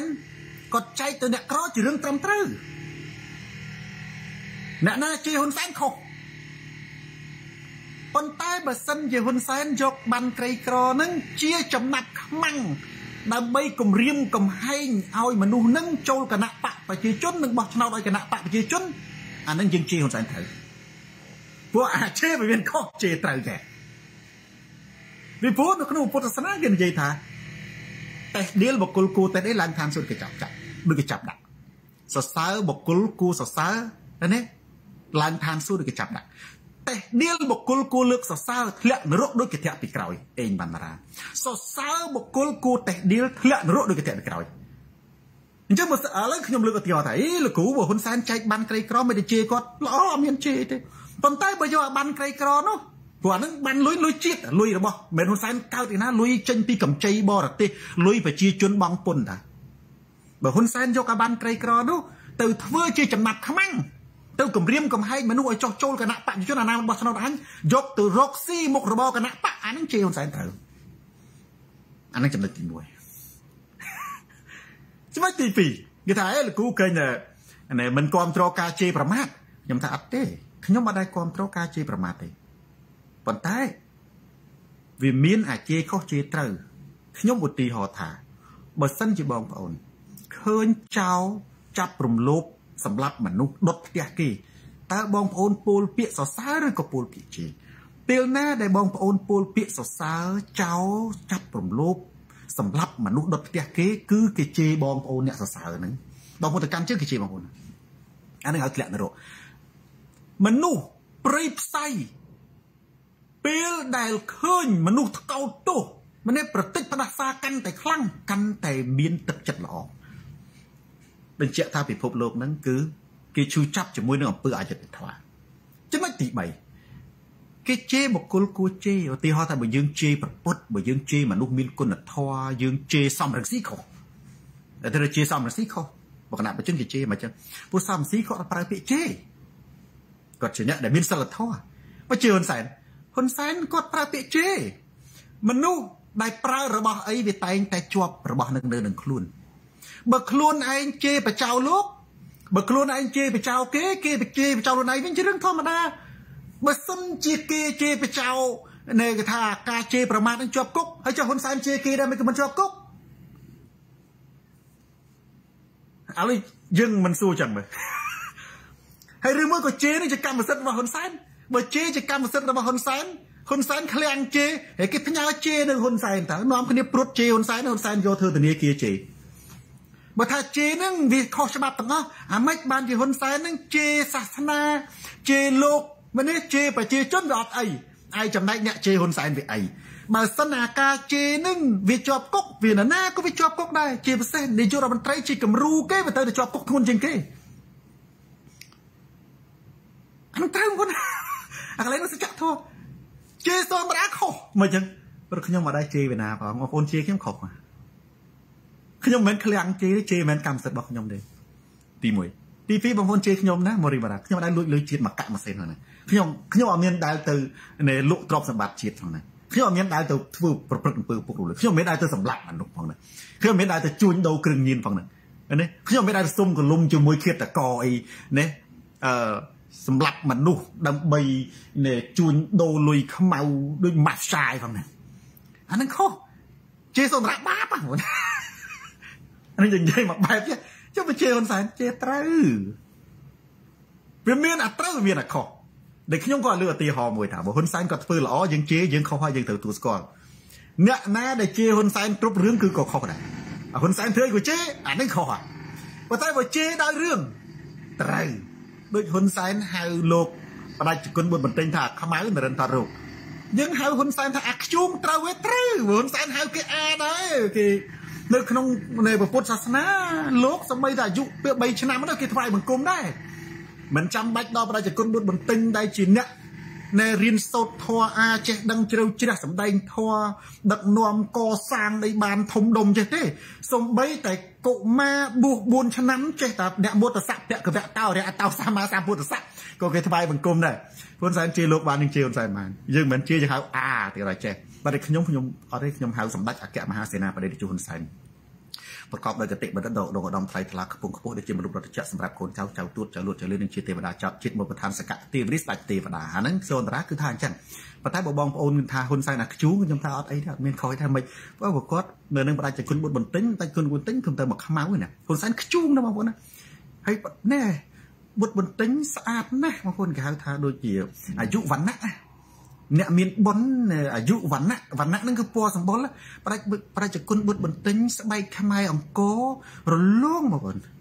នេះរលោងនេះសនរាមបងប្អូនមើលចេះមុខខ្មែរអង្គរសម្បុរខ្មែរអង្គរមានខ្មៅទេគេអត់ចាត់ទុកជាខ្មៅវ៉ានីម៉ាត់អានេះគេហៅថាខ្មែរយើងហៅថាសម្បុរស្រអែមសណ្ដែកបាយគ្រាន់តែថាលោកមិននៅតែម៉ាស៊ីនត្រជាក់នៅតាមក្រៅផ្ទះបើនៅស្រុកខ្មែរនៅតាមព្រៃរឿងអីមិនខ្មៅមិននៅក្នុងផ្ទះដូចហ៊ុនសែននេះណា ហ៊ុនសែនណាបើចេញដើរប្រហែលទៅបដិជនបុត្របន្តិចនឹងគូដើរទៅតតែសោចសោចធម្មតាបើថ្មិញសគេឃើញណាហ៊ុនសែនសួរគេដើរបុកអត់ឃើញទៀតយកឡើងវាខ្មៅពេកទេណាបុត្របន្តិចនៅអាមេរិកក៏ដោយមិនខែតិចក៏នៅតែក្រៅតែផ្ទះហ្នឹងគាត់ធ្វើកិច្ចការរបស់គាត់បដិជនធ្វើកិច្ចការមិនដែលឈប់ណែតានេះអញ្ចឹងទៅទៀតអញ្ចឹងហើយនេះអាអញ្ចឹងអាកន្លែងនេះខ្ញុំចំណុចចុងក្រោយនៅក្នុងប្រធានបទចុងក្រោយនេះនេះក្រៅតែពីនិយាយអំពីហ៊ុនសែន ខ្ញុំជឿជាក់ថាគណៈបកសង្គ្រោះជាតិនៅក្រៅប្រទេសនឹងធ្វើយុទ្ធនាការសកលលោកអានេះផ្លូវការហើយខ្ញុំជឿថាគណៈបកសង្គ្រោះជាតិនៅក្រៅប្រទេសគឺដឹកនាំដោយលោកស្រីមូសុខួរផ្នែកនយោបាយកិច្ចការបរទេសសម្ដីរបស់ហ៊ុនសែនពាក្យថាអាខ្មៅមួយម៉ាត់នេះបងប្អូនមើលទៅគឺចង់សម្ដៅទៅលើតែបដិជនបុត្របន្ទិញទេ ប៉ុន្តែបើសិនជាយើងចេះប្រើប្រាស់សារនឹងឲ្យល្អគឺសំដៅទៅលើការរើសអើងពូជសាសន៍បងប្អូនរើសអើងពូជសាសន៍នៅស្រុកអាមេរិកបច្ចុប្បន្នមេបញ្ជាការកម្ពុជារបស់អាមេរិកគឺជនជាតិស្បែកខ្មៅនៅប្រទេសបារាំងរដ្ឋមន្ត្រីអប់រំក្រសួងអប់រំគឺជនជាតិស្បែកខ្មៅហើយកីឡាករបារាំងតែជាជាងពាក់កដាលសុទ្ធតែជាជនជាតិស្បែកខ្មៅជាបារាំងស្បែកខ្មៅ បងប្អូនខ្ញុំចាប់ពីថ្ងៃនេះភាសានេះខ្ញុំចង់ឲ្យប្រជាជនកម្ពុជានៅក្រៅប្រទេសជាពិសេសនៅសហរដ្ឋអាមេរិកដែលមានទំហំធំ គឺណែយកសាររបស់ហ៊ុនសែនពាក្យអាខ្មៅដើម្បីធ្វើយុទ្ធនាការចលនាពិភពលោក ប្រឆាំងទៅនឹងការរើសអើងពុសាខ្ញុំនិយាយចេះនៅស្រុកប្រាំងខ្ញុំមិនដឹងទេពួកខ្ញុំនៅប្រាំងច្រើនខ្ញុំមិនដឹងនៅអាមេរិកទេបើនិយាយដោយហ៊ុនសែនគឺជាប់គុកមួយ ជាពិសេសភាសាដែលចេញដោយថ្នាក់ដឹកនាំគឺខ្លាចសំបីតែនៅសហរដ្ឋអាមេរិកដោយកាលពីមុនកូវីដឬក៏ចំនួនកូវីដហ្នឹងមានជនជាតិស្បែកខ្មៅមួយរូបដែលត្រូវពិតប៉ូលីសអាមេរិកសកត់កស្លាប់ប្រជាជនជនជាតិស្បែកខ្មៅនៅជុំវិញពិភពលោកទាំងនៅសុកប្រាំងក៏ដោយនៅអាមេរិកក៏ដោយគឺចេញធ្វើយុទ្ធនាការប្រឆាំងទៅនឹងការរើអង្គុសាអានឹងណាគេគ្រាន់តែចាប់ មនុស្សជនល្មើសជនល្មើសក៏មានសិទ្ធិសម្លាប់គេដែរតាមពិតម្នាក់នឹងជាជនល្មើសឯងតែគេមិននិយាយគេនិយាយពីអយុត្តិធម៌សម្បីតែអ្នកនឹងមានប្រវត្តិធ្លាប់ជាប់គុកមានអីក៏ដោយប៉ូលីសនឹងធ្វើទៅលើជនល្មើសផងចុះតម្រាំណែហ៊ុនសែនបងប្អូនសាររបស់ហ៊ុនសែនមួយម៉ាត់នេះ គឺយើងអាចប្រើប្រាស់សម្រាប់សារអន្តរជាតិប្រឆាំងទៅនឹងការរើសអើងពូជសាសន៍ណា សម្រាប់ឲ្យអន្តរជាតិនឹងថ្កោលទោសហ៊ុនសែនសម្រាប់ឲ្យពិភពលោកនឹងទោះយ៉ាងណាក៏ដោយនេះបើហ៊ុនសែនអាណត្តិក្រោយនេះនៅក្នុងតំណែងឬមិននៅក្នុងតំណែងក៏ដោយឲ្យពួកគេពហិការខ្ពើមហ៊ុនសែនបើសិនជាហ៊ុនសែនស្ថិតនៅក្នុងតំណែងក៏ដោយប៉ុន្តែខ្ញុំនិយាយទៅចេះដូចខ្ញុំត្រឡប់មកវិញរឿងថាត្រឡប់អារឿងតំណែងមិនតំណែងបងប្អូនច្បាស់និយាយថាអីចុះសូនតារាហ្នឹងមកអាមេរិកឥឡូវខ្ញុំកំពុងនៅអាមេរិកនេះណា អត់មិនក៏មាន បានទៅថតមិនទៅចាប់ដៃជាមួយប្រធានាធិបតីដូចហ៊ុនសែនអត់តែខ្ញុំថាឲ្យខ្ញុំមិនមែនជាគណៈដឹកនាំប្រទេសជាតិទេប៉ុន្តែនឹងចាប់ដៃទៅថ្ងៃណាមួយមែនទេហើយហ៊ុនសែនសំរងស៊ីក៏និយាយដែរបើហ៊ុនសែនអស់តំណែងជានាយករដ្ឋមន្ត្រីជាមនុស្សសាមញ្ញនេះសូនតាខ្នោះនៅក្រៅប្រទេសហើយប្រជាជនណាកុំថាឡើយបងប្អូនមិនមិនដូចមិនស្បែកជើងមួយភ្លៀងស្បែកជើងមកក៏មិនដឹងពីព្រោះអស់តំណែងរដ្ឋមន្ត្រីក៏ដឹងណា បងប្អូនខ្ញុំគាត់នឹងជម្រាបទេគេព្យាយាមការពារហ៊ុនសែនណាស់នៅក្នុងអភ័យឯកសិទ្ធិមិថុនាស្មានបារាំងនៅទីណាក៏ដោយអាមេរិកក៏ដោយប៉ុន្តែបើហ៊ុនសែនអស់នាយករដ្ឋមន្ត្រីហ៊ុនសែនត្រឹមមកជួលអង្គរៈឯកជនធម្មតាការពារអត់ធានាភ្លៀងស្បែកជើងទេសូនរាមានណាគប់ផងនៅស្រុករិចនេះខ្ញុំមកតណាគប់ក្បាលស្បែកជើងបើគប់តែខ្មែរយើងណាគប់អូថាគប់មកល្អមើលថាហ្នឹងមិនអីទេមិនទេ បើគប់មកគឺលុតចាប់អាស្បែកជើងហ្នឹងហ្មងចាប់ហើយអត់អត់ដេញចាប់មនុស្សណាដាក់អាហ្នឹងទុកជាអនុស្សាវរីយ៍មកហើយមួយទៀតបងប្អូនមានចាំនេះដឹកនាំមួយរូបដែលលោកទាសំស៊ីគាត់បង្ហោះដែរចាប់ដៃប្រធានាធិបតីបារាំងគាត់ទៅចាប់ដៃហើយណាអស់ពីតំណែងទៅចូលរុនកណ្ដុលគេចាប់ទាញចេញពីរុនកណ្ដុលមក ពេលដែលនៅតំណែងចង់ចាប់ដៃអ្នកណាក៏បានដែរប៉ុន្តែអស់តំណែងកុំថាឡើយចាប់ដៃសំបីតែដីក៏មានកន្លែងរស់ដែរទៅរស់នៅរុនកណ្ដុលគេចាប់ទាញពីរុនកណ្ដុលយកមកជួកកអានឹងអត្តបទរបស់លោកប្រធានសំស៊ីគាត់ទៅសេអញ្ចឹងកន្លែងនេះខ្ញុំអត់មានទេសរុបសេចក្តីមកវិញមុននឹងឈានចូលទៅដល់របៀបផ្សេងសំដួលចម្លើយនិងរបៀបផ្សេងខ្ញុំសូមឲ្យប្រជាជនកម្ពុជាជុំវិញពិភពលោកនៅប្រទេសណាក៏ដោយជាពិសេសនៅសហរដ្ឋអាមេរិកថ្ងៃនេះគឺ ឥឡូវនេះកំពុងតែថ្ងៃពេលព្រឹកនៅប្រទេសខ្មែរជប់ហើយនឹងឈានចូលទៅដល់ការសម្រាកអញ្ចឹងបើសិនជាបងប្អូននៅទីនេះ share បន្តគ្នាខ្មែរយើងនៅសហរដ្ឋអាមេរិកនៅអឺរ៉ុបនៅកូរ៉េនៅនៅជប៉ុននៅទីណាក៏ដោយយកពាក្យរបស់ហ៊ុនសែនថាអាខ្មៅនេះទៅជាយុទ្ធនាការប្រឆាំងនឹងការរើសអើងពូជសាសន៍ហើយខ្ញុំចង់ឲ្យរដ្ឋសភាខ្មែរយើងនៅសហរដ្ឋអាមេរិកនិងនៅជុំវិញពិភពលោកជាពិសេសនៅអឺរ៉ុបនិងអាមេរិកណា គឺធ្វើការទំនាក់ទំនងជាមួយនឹងតំណាងរាស្ត្រដែលមានពណ៌សម្បុរស្បែកខ្មៅជាពិសេសប្រធានាធិបតីអ៊ូបាម៉ា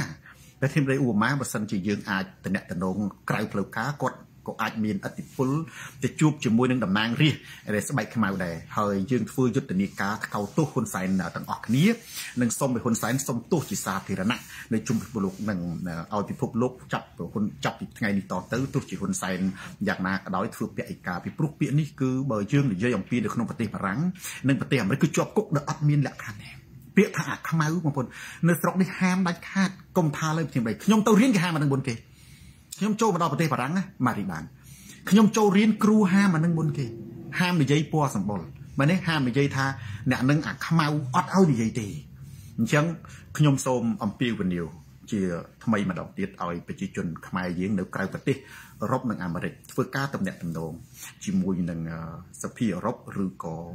រដ្ឋសភាអាមេរិកព្រឹទ្ធសភាអាមេរិកជាពិសេសតាក់ទងជាមួយនឹងតំណាងរាស្ត្រ ជនជាតិស្បែកសក៏ដោយស្បែកខ្មៅក៏ដោយយកសារហ៊ុនសែនដើម្បីធ្វើជាយុទ្ធនាការប្រឆាំងទៅនឹងការរើសអើងពូជសាសន៍នៅក្នុងការប្រើពាក្យអាខ្មៅហើយពាក្យនេះវាមានសន្តានទោសធ្ងន់ធ្ងរនៅស្រុកអាមេរិកនៅស្រុកបារាំងប្រធានាធិបតីក៏ដោយគឺមានសន្តានទោសរហូតដល់ជាប់គុកវាពាក់ព័ន្ធជាមួយនឹងការញុះញង់បង្កឲ្យមានការរើសអើងពូជសាសន៍ការរើសអើងពូជសាសន៍នេះបង្កឲ្យមានការឈឺចាប់ការសង្គ្រាមច្បាំងគ្នាអាសង្គ្រាមពូជសាសន៍គេខ្លាចណាស់ បាទសង្គ្រាមរើសអើងនឹងនាំឲ្យមានភេរវកម្មនាំឲ្យមានការកាប់សម្លាប់អញ្ចឹងពាក្យហ៊ុនសែននេះគឺជាពាក្យញុះញង់សកលលោកជាពាក្យដែលគេហៅថារើសអើងពូជសាសន៍នៅក្នុងសកលលោកអញ្ចឹងបងប្អូនទាំងអស់ដែលមានជនជាតិស្បែកខ្មៅទាំងអស់សូមមេត្តាចូលរួមជាមួយគណៈបកសង្គ្រោះជាតិប្រឆាំងជាមួយនឹងហ៊ុនសែនតែថ្លែងសាររើសអើងពូជសាសន៍ហើយទោះជាយ៉ាងណាក៏ដោយបើសិនជាហ៊ុនសែនសម្ដៅទៅលើបដិជគុណនៃបុត្របន្ទិញគឺខ្ញុំចង់និយាយថាបើហ៊ុនសែនហៅបដិជគុណបុត្របន្ទិញថា អ្នកអាខ្មៅសម្ដេចអាខ្ជូងទេសម្ដេចណាអាខ្ជូងទេ គឺគាត់ខ្ញុំមិនហៅគាត់អាបើតែនេះនៃធៀបគឺចង់និយាយថាគាត់បើយើងនិយាយទៅវាអាខ្ជូងទេពោះពណ៌សម្បុររបស់គាត់ខ្មៅជាងបដិជគុណបុត្របន្ទិញហើយបងប្អូនខ្ញុំមានមោទនភាពពណ៌សម្បុរស្បែកខ្ញុំហើយខ្ញុំជឿថាបដិជគុណបុត្របន្ទិញមានមោទនភាពដូចខ្ញុំដែរ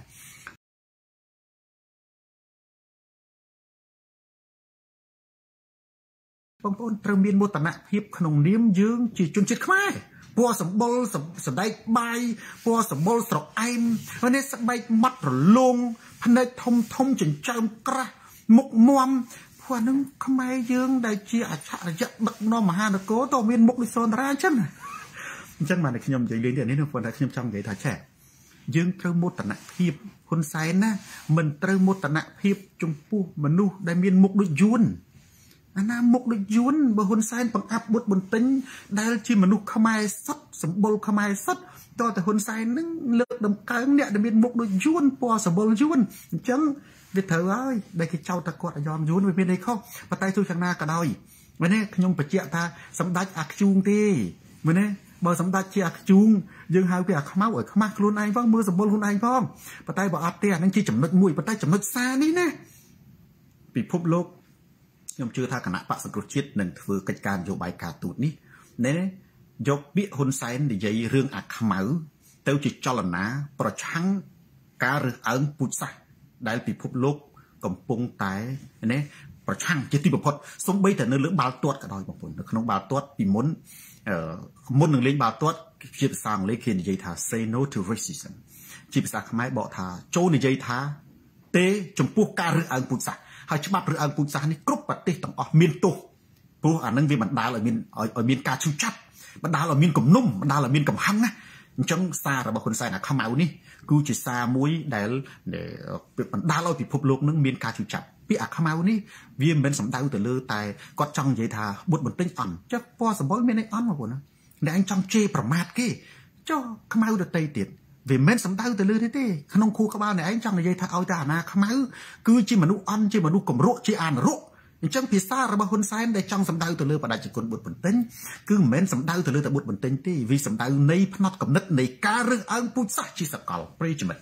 share វីដេអូនេះទៅកាន់ប្រិយមិត្តដទៃទៀតទូរទស្សន៍សូនតារាស្រាត់ខោជនបដិការផ្លាស់ប្ដូរផ្នត់កំណត់យើងនៅសល់2 3នាទីទៀតចូលទៅដល់របៀបវិរៈចុងក្រោយសំណួរចម្លើយនិងបញ្ហាផ្សេងផ្សេងបាទទៅឥឡូវយើងចូលដល់ចនណាចននេះសន្តានាអត់មានទេមានទស្សនាមេដៃបាទចិនដាពៅបាទចិនដាពៅគាត់ហៅយើងក៏មានខុសដែរខ្លួនឯងចេះតែជេរបចោគេដើរហៅគេអាគ្រប់តែគ្នាហើយខឹងគេហៅខ្លួនឯងអា អត់យល់អត់យល់មែន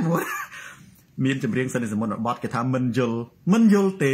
ខ្ញុំមិនយល់សម្ដេចបងប្អូនអាមិនយល់នឹងហើយដែលគេហៅថាកើតរុកចិត្តដែលខ្ញុំនៅសម្ដេចមានបញ្ហាវិបត្តិផ្លូវចិត្តធ្ងន់ធ្ងរពួកគាត់ធ្វើឲ្យយើងអត់យល់ធម្មតាមនុស្សបើកណាដើរតួធ្វើជាគ្រូអប់រំសិលធម៌ស្ដីបណ្ដៅគេវាតតែខ្លួនឯងកុំចឹងធនចន្ទថាបាទគ្រាន់តែជាក្រុមកង្កែបអកតបនតីឆាយ ពុទ្ធរៈរដ្ឋការបាទក៏តបនៅដតីដែរ Minister ជូបាទ UK អត់ទេគាត់ឥណ្ឌាបាទនាយករដ្ឋមន្ត្រីនៃរបស់អង់គ្លេសគឺជាជនជាតិឥណ្ឌាគាត់មិនមែនស្បែកខ្មៅទេឥណ្ឌាគេអត់ចាត់ទុកស្បែកខ្មៅទេបាទបាទណាគឺគាត់តែគ្នាមានសម្បុរគេហៅថាសម្បុរក្រមៅអញ្ចឹងទៅខ្មែរយើងអត់មានខ្មៅទេ ខ្មែរយើងពិភពលោកអត់ចាត់ទុកជាស្បែកខ្មៅអាស៊ីអត់មានជនជាតិស្បែកខ្មៅ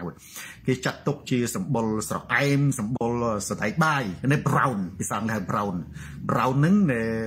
អាហ្នឹងក្រមៅខ្មែរយើងសម្បុរសដែកបាយណាបាទខ្មៅជាទូទៅនៅទ្វីបអាហ្វ្រិកហើយនៅអឺរ៉ុបនៅអាមេរិកគឺគេហៅថាជនអន្តោប្រវេសន៍ឬក៏ជនចំណាក់ស្រុកដូចនៅអាស៊ីយើងចំណាក់ស្រុកមានសញ្ជាតិជាបារាំងមានសញ្ជាតិជា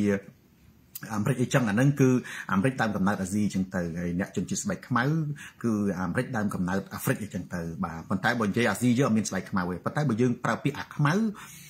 ស្មើនឹងពាក្យជេរព្រោះព្រោះហ៊ុនសែនគាត់សំដៅទៅលើបុត្របន្ទិញថាអាខ្មៅគឺចង់និយាយថាពាក្យខ្មៅគឺពាក្យអវិជ្ជមានពាក្យអាក្រក់ពាក្យដូចថាវាកខ្វក់ អញ្ចឹងបើយើងទាញន័យនឹងទៅវាអត់សំដៅទៅលើតែបុត្របន្ទិញចង់និយាយផ្នត់កំណត់ហ៊ុនសែនថាឲ្យតែខ្មៅវាក៏ខ្វក់អញ្ចឹងពិភពលោកត្រូវថ្កោលទោសយើងត្រូវធ្វើសារនេះទៅកាន់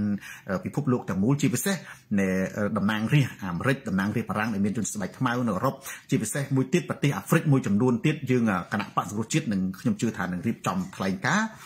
ធ្វើសារប្រឆាំងទៅនឹងសាររបស់ហ៊ុនសែននេះមិនមែនជារឿងតូចតាចតែនិយាយសម្ដៅទៅលើតែបុតបន្ទិញទេវាជារឿងរើសអើងពូជសាសន៍ហើយវាជារបត់អន្តរជាតិមួយទាំងមូលដែលគេប្រឆាំងទៅនឹងការរើសអើងពូជសាសន៍ពាក្យអាខ្មៅគេប្រកាន់ណាបងប្អូនដឹងថាយើងអាចនិយាយបាននិយាយជាលក្ខណៈមិត្តភ័ក្តិគ្រួសារផឹកស៊ីហូបបាយជុំគ្នានិយាយទៅអាទៅជាអាខ្មៅអសអាខ្មៅប៉ុន្តែបើថ្លែងជាសាធារណៈជាសម្លេងឲ្យគេដឹងជាការរើសអើងពូជសាសន៍បាទ បុផានីខេនជំរាបសួរបាទចាត់ទុកសម្បុលបាទជាសម្បុលស្រអែមអត់មានខ្មៅទេណាស៊ីយើងបាទណា physiotherapy បាទគ្រប់ត្រទាំងអស់បាទច័ន្ទវីកើតរោគចិត្តប៉ែនបញ្ញា បាទហ៊ុនសែនកីឡាករពិការនេះអឺរិនដាកឹមអត់មានរិនដា កឹមបាទលោកគ្រូនៅប្រហែលថ្ងៃបាទខ្ញុំនៅ ជាង1ខែនៅសហរដ្ឋអាមេរិកអញ្ចឹងបងប្អូនយើងរត់មួយចំនួនខ្ញុំទៅអត់ដល់ទេតែនឹងរត់មួយចំនួនទៅដល់ជាពិសេសនៅរដ្ឋណាដែលមានខ្មែរច្រើន គឺខ្ញុំទៅដល់ហើយសេងធីរីពណ៌ត្នោតបាទ brown brown ពណ៌ត្នោតដូចមិនដល់ពណ៌ត្នោតពណ៌ត្នោតដើមត្នោតខ្មៅ brown នេះពណ៌នេះសូនរាយនេះហៅ brown បាទគឺបារាំងដូចថាម៉ារុងបាទច័ន្ទមីនិត សុខុមពៅ KH Cambodia បាទលើកក្រោយចូលលេងកូរ៉េផងលោកគ្រូលើកក្រោយបាទចេញពីនេះទៅប្រហែលជាខែក្រោយ ណាខែ5ខែ6ចង់សាកទៅកូរ៉េហើយជួបបងប្អូនយើងនៅកូរ៉េនឹង2 3សប្តាហ៍ចាំត្រឡប់មកប្រទេសបារាំងវិញអាបុផានីខេនហៅគេអីគេផ្សេងទៀតបាទអញ្ចឹងប្រិយមិត្តយើងមើលទៅអត់មានសំណួរទេហើយក៏ដល់ពេលវេលាដែលត្រូវបញ្ចប់ដែរចុះស្រួយ ខ្ញុំនឹងជួបប្រិយមិត្ត2 3រូបទៀតទៅចុះបើមានសំណួរខ្ញុំឆ្លើយបើអត់ទេយើងបញ្ចប់ការផ្សាយផ្ទាល់នេះតែម្ដងវងចិត្តថាបាទវងចិត្តថាហេតុអីអត់មានប្រឡងឆ្នាំនេះរុកគ្រោះអត់មានប្រឡងប្រឡងមានតើប្រឡងបាក់ដុំរួចហើយអឹមឡាដាបាទអឺ LA LA បាទ LA នឹងជួបគ្នា នៅខែក្រោយបាទនរៈវឌ្ឍនាអត់មានទេអញ្ចឹងប្រិយមិត្ត ដោយសារតែអត់មានសំណួរអីទេខ្ញុំសូមបញ្ចប់ការផ្សាយផ្ទាល់ពីនេះចុះពីទឹកដីសហរដ្ឋអាមេរិកអញ្ចឹងអរគុណប្រិយមិត្តដែលបានតាមដានទស្សនាការផ្សាយផ្ទាល់នេះតាំងពីដើមរហូតដល់ចប់ share វីដេអូនេះទៅកាន់ប្រិយមិត្តដទៃទៀតទូរទស្សន៍សូនតារាទៅដល់ទីណាការផ្លាស់ប្ដូរផ្នត់កំណត់ទៅដល់ទីនោះ ការផ្លាស់ប្ដូរផ្នត់កំណត់ទៅដល់ទីណាការយល់ដឹងទៅដល់ទីនោះការយល់ដឹងទៅដល់ទីណាហ៊ុនសែនចប់ទៅដល់ទីនោះស្ដាប់សូនតារាកើនបញ្ញាស្ដាប់ច្រើនកាលណាដឹងការពិតស្ដាប់ហ៊ុនសែនជន់កំសាកពាក់ផ្លាកអ្នកក្លាហានកើតរុកចិត្តទូរទស្សន៍សូនតារាស្រាតខោជន់ផ្ដាច់ការផ្លាស់ប្ដូរផ្នត់កំណត់យើងជួបគ្នាសាជាថ្មីម្ដងទៀតនៅថ្ងៃក្រោយតាមពេលវេលានិងម៉ោងដដែលសូមអរគុណសូមជម្រាបលារាត្រីសួស្តី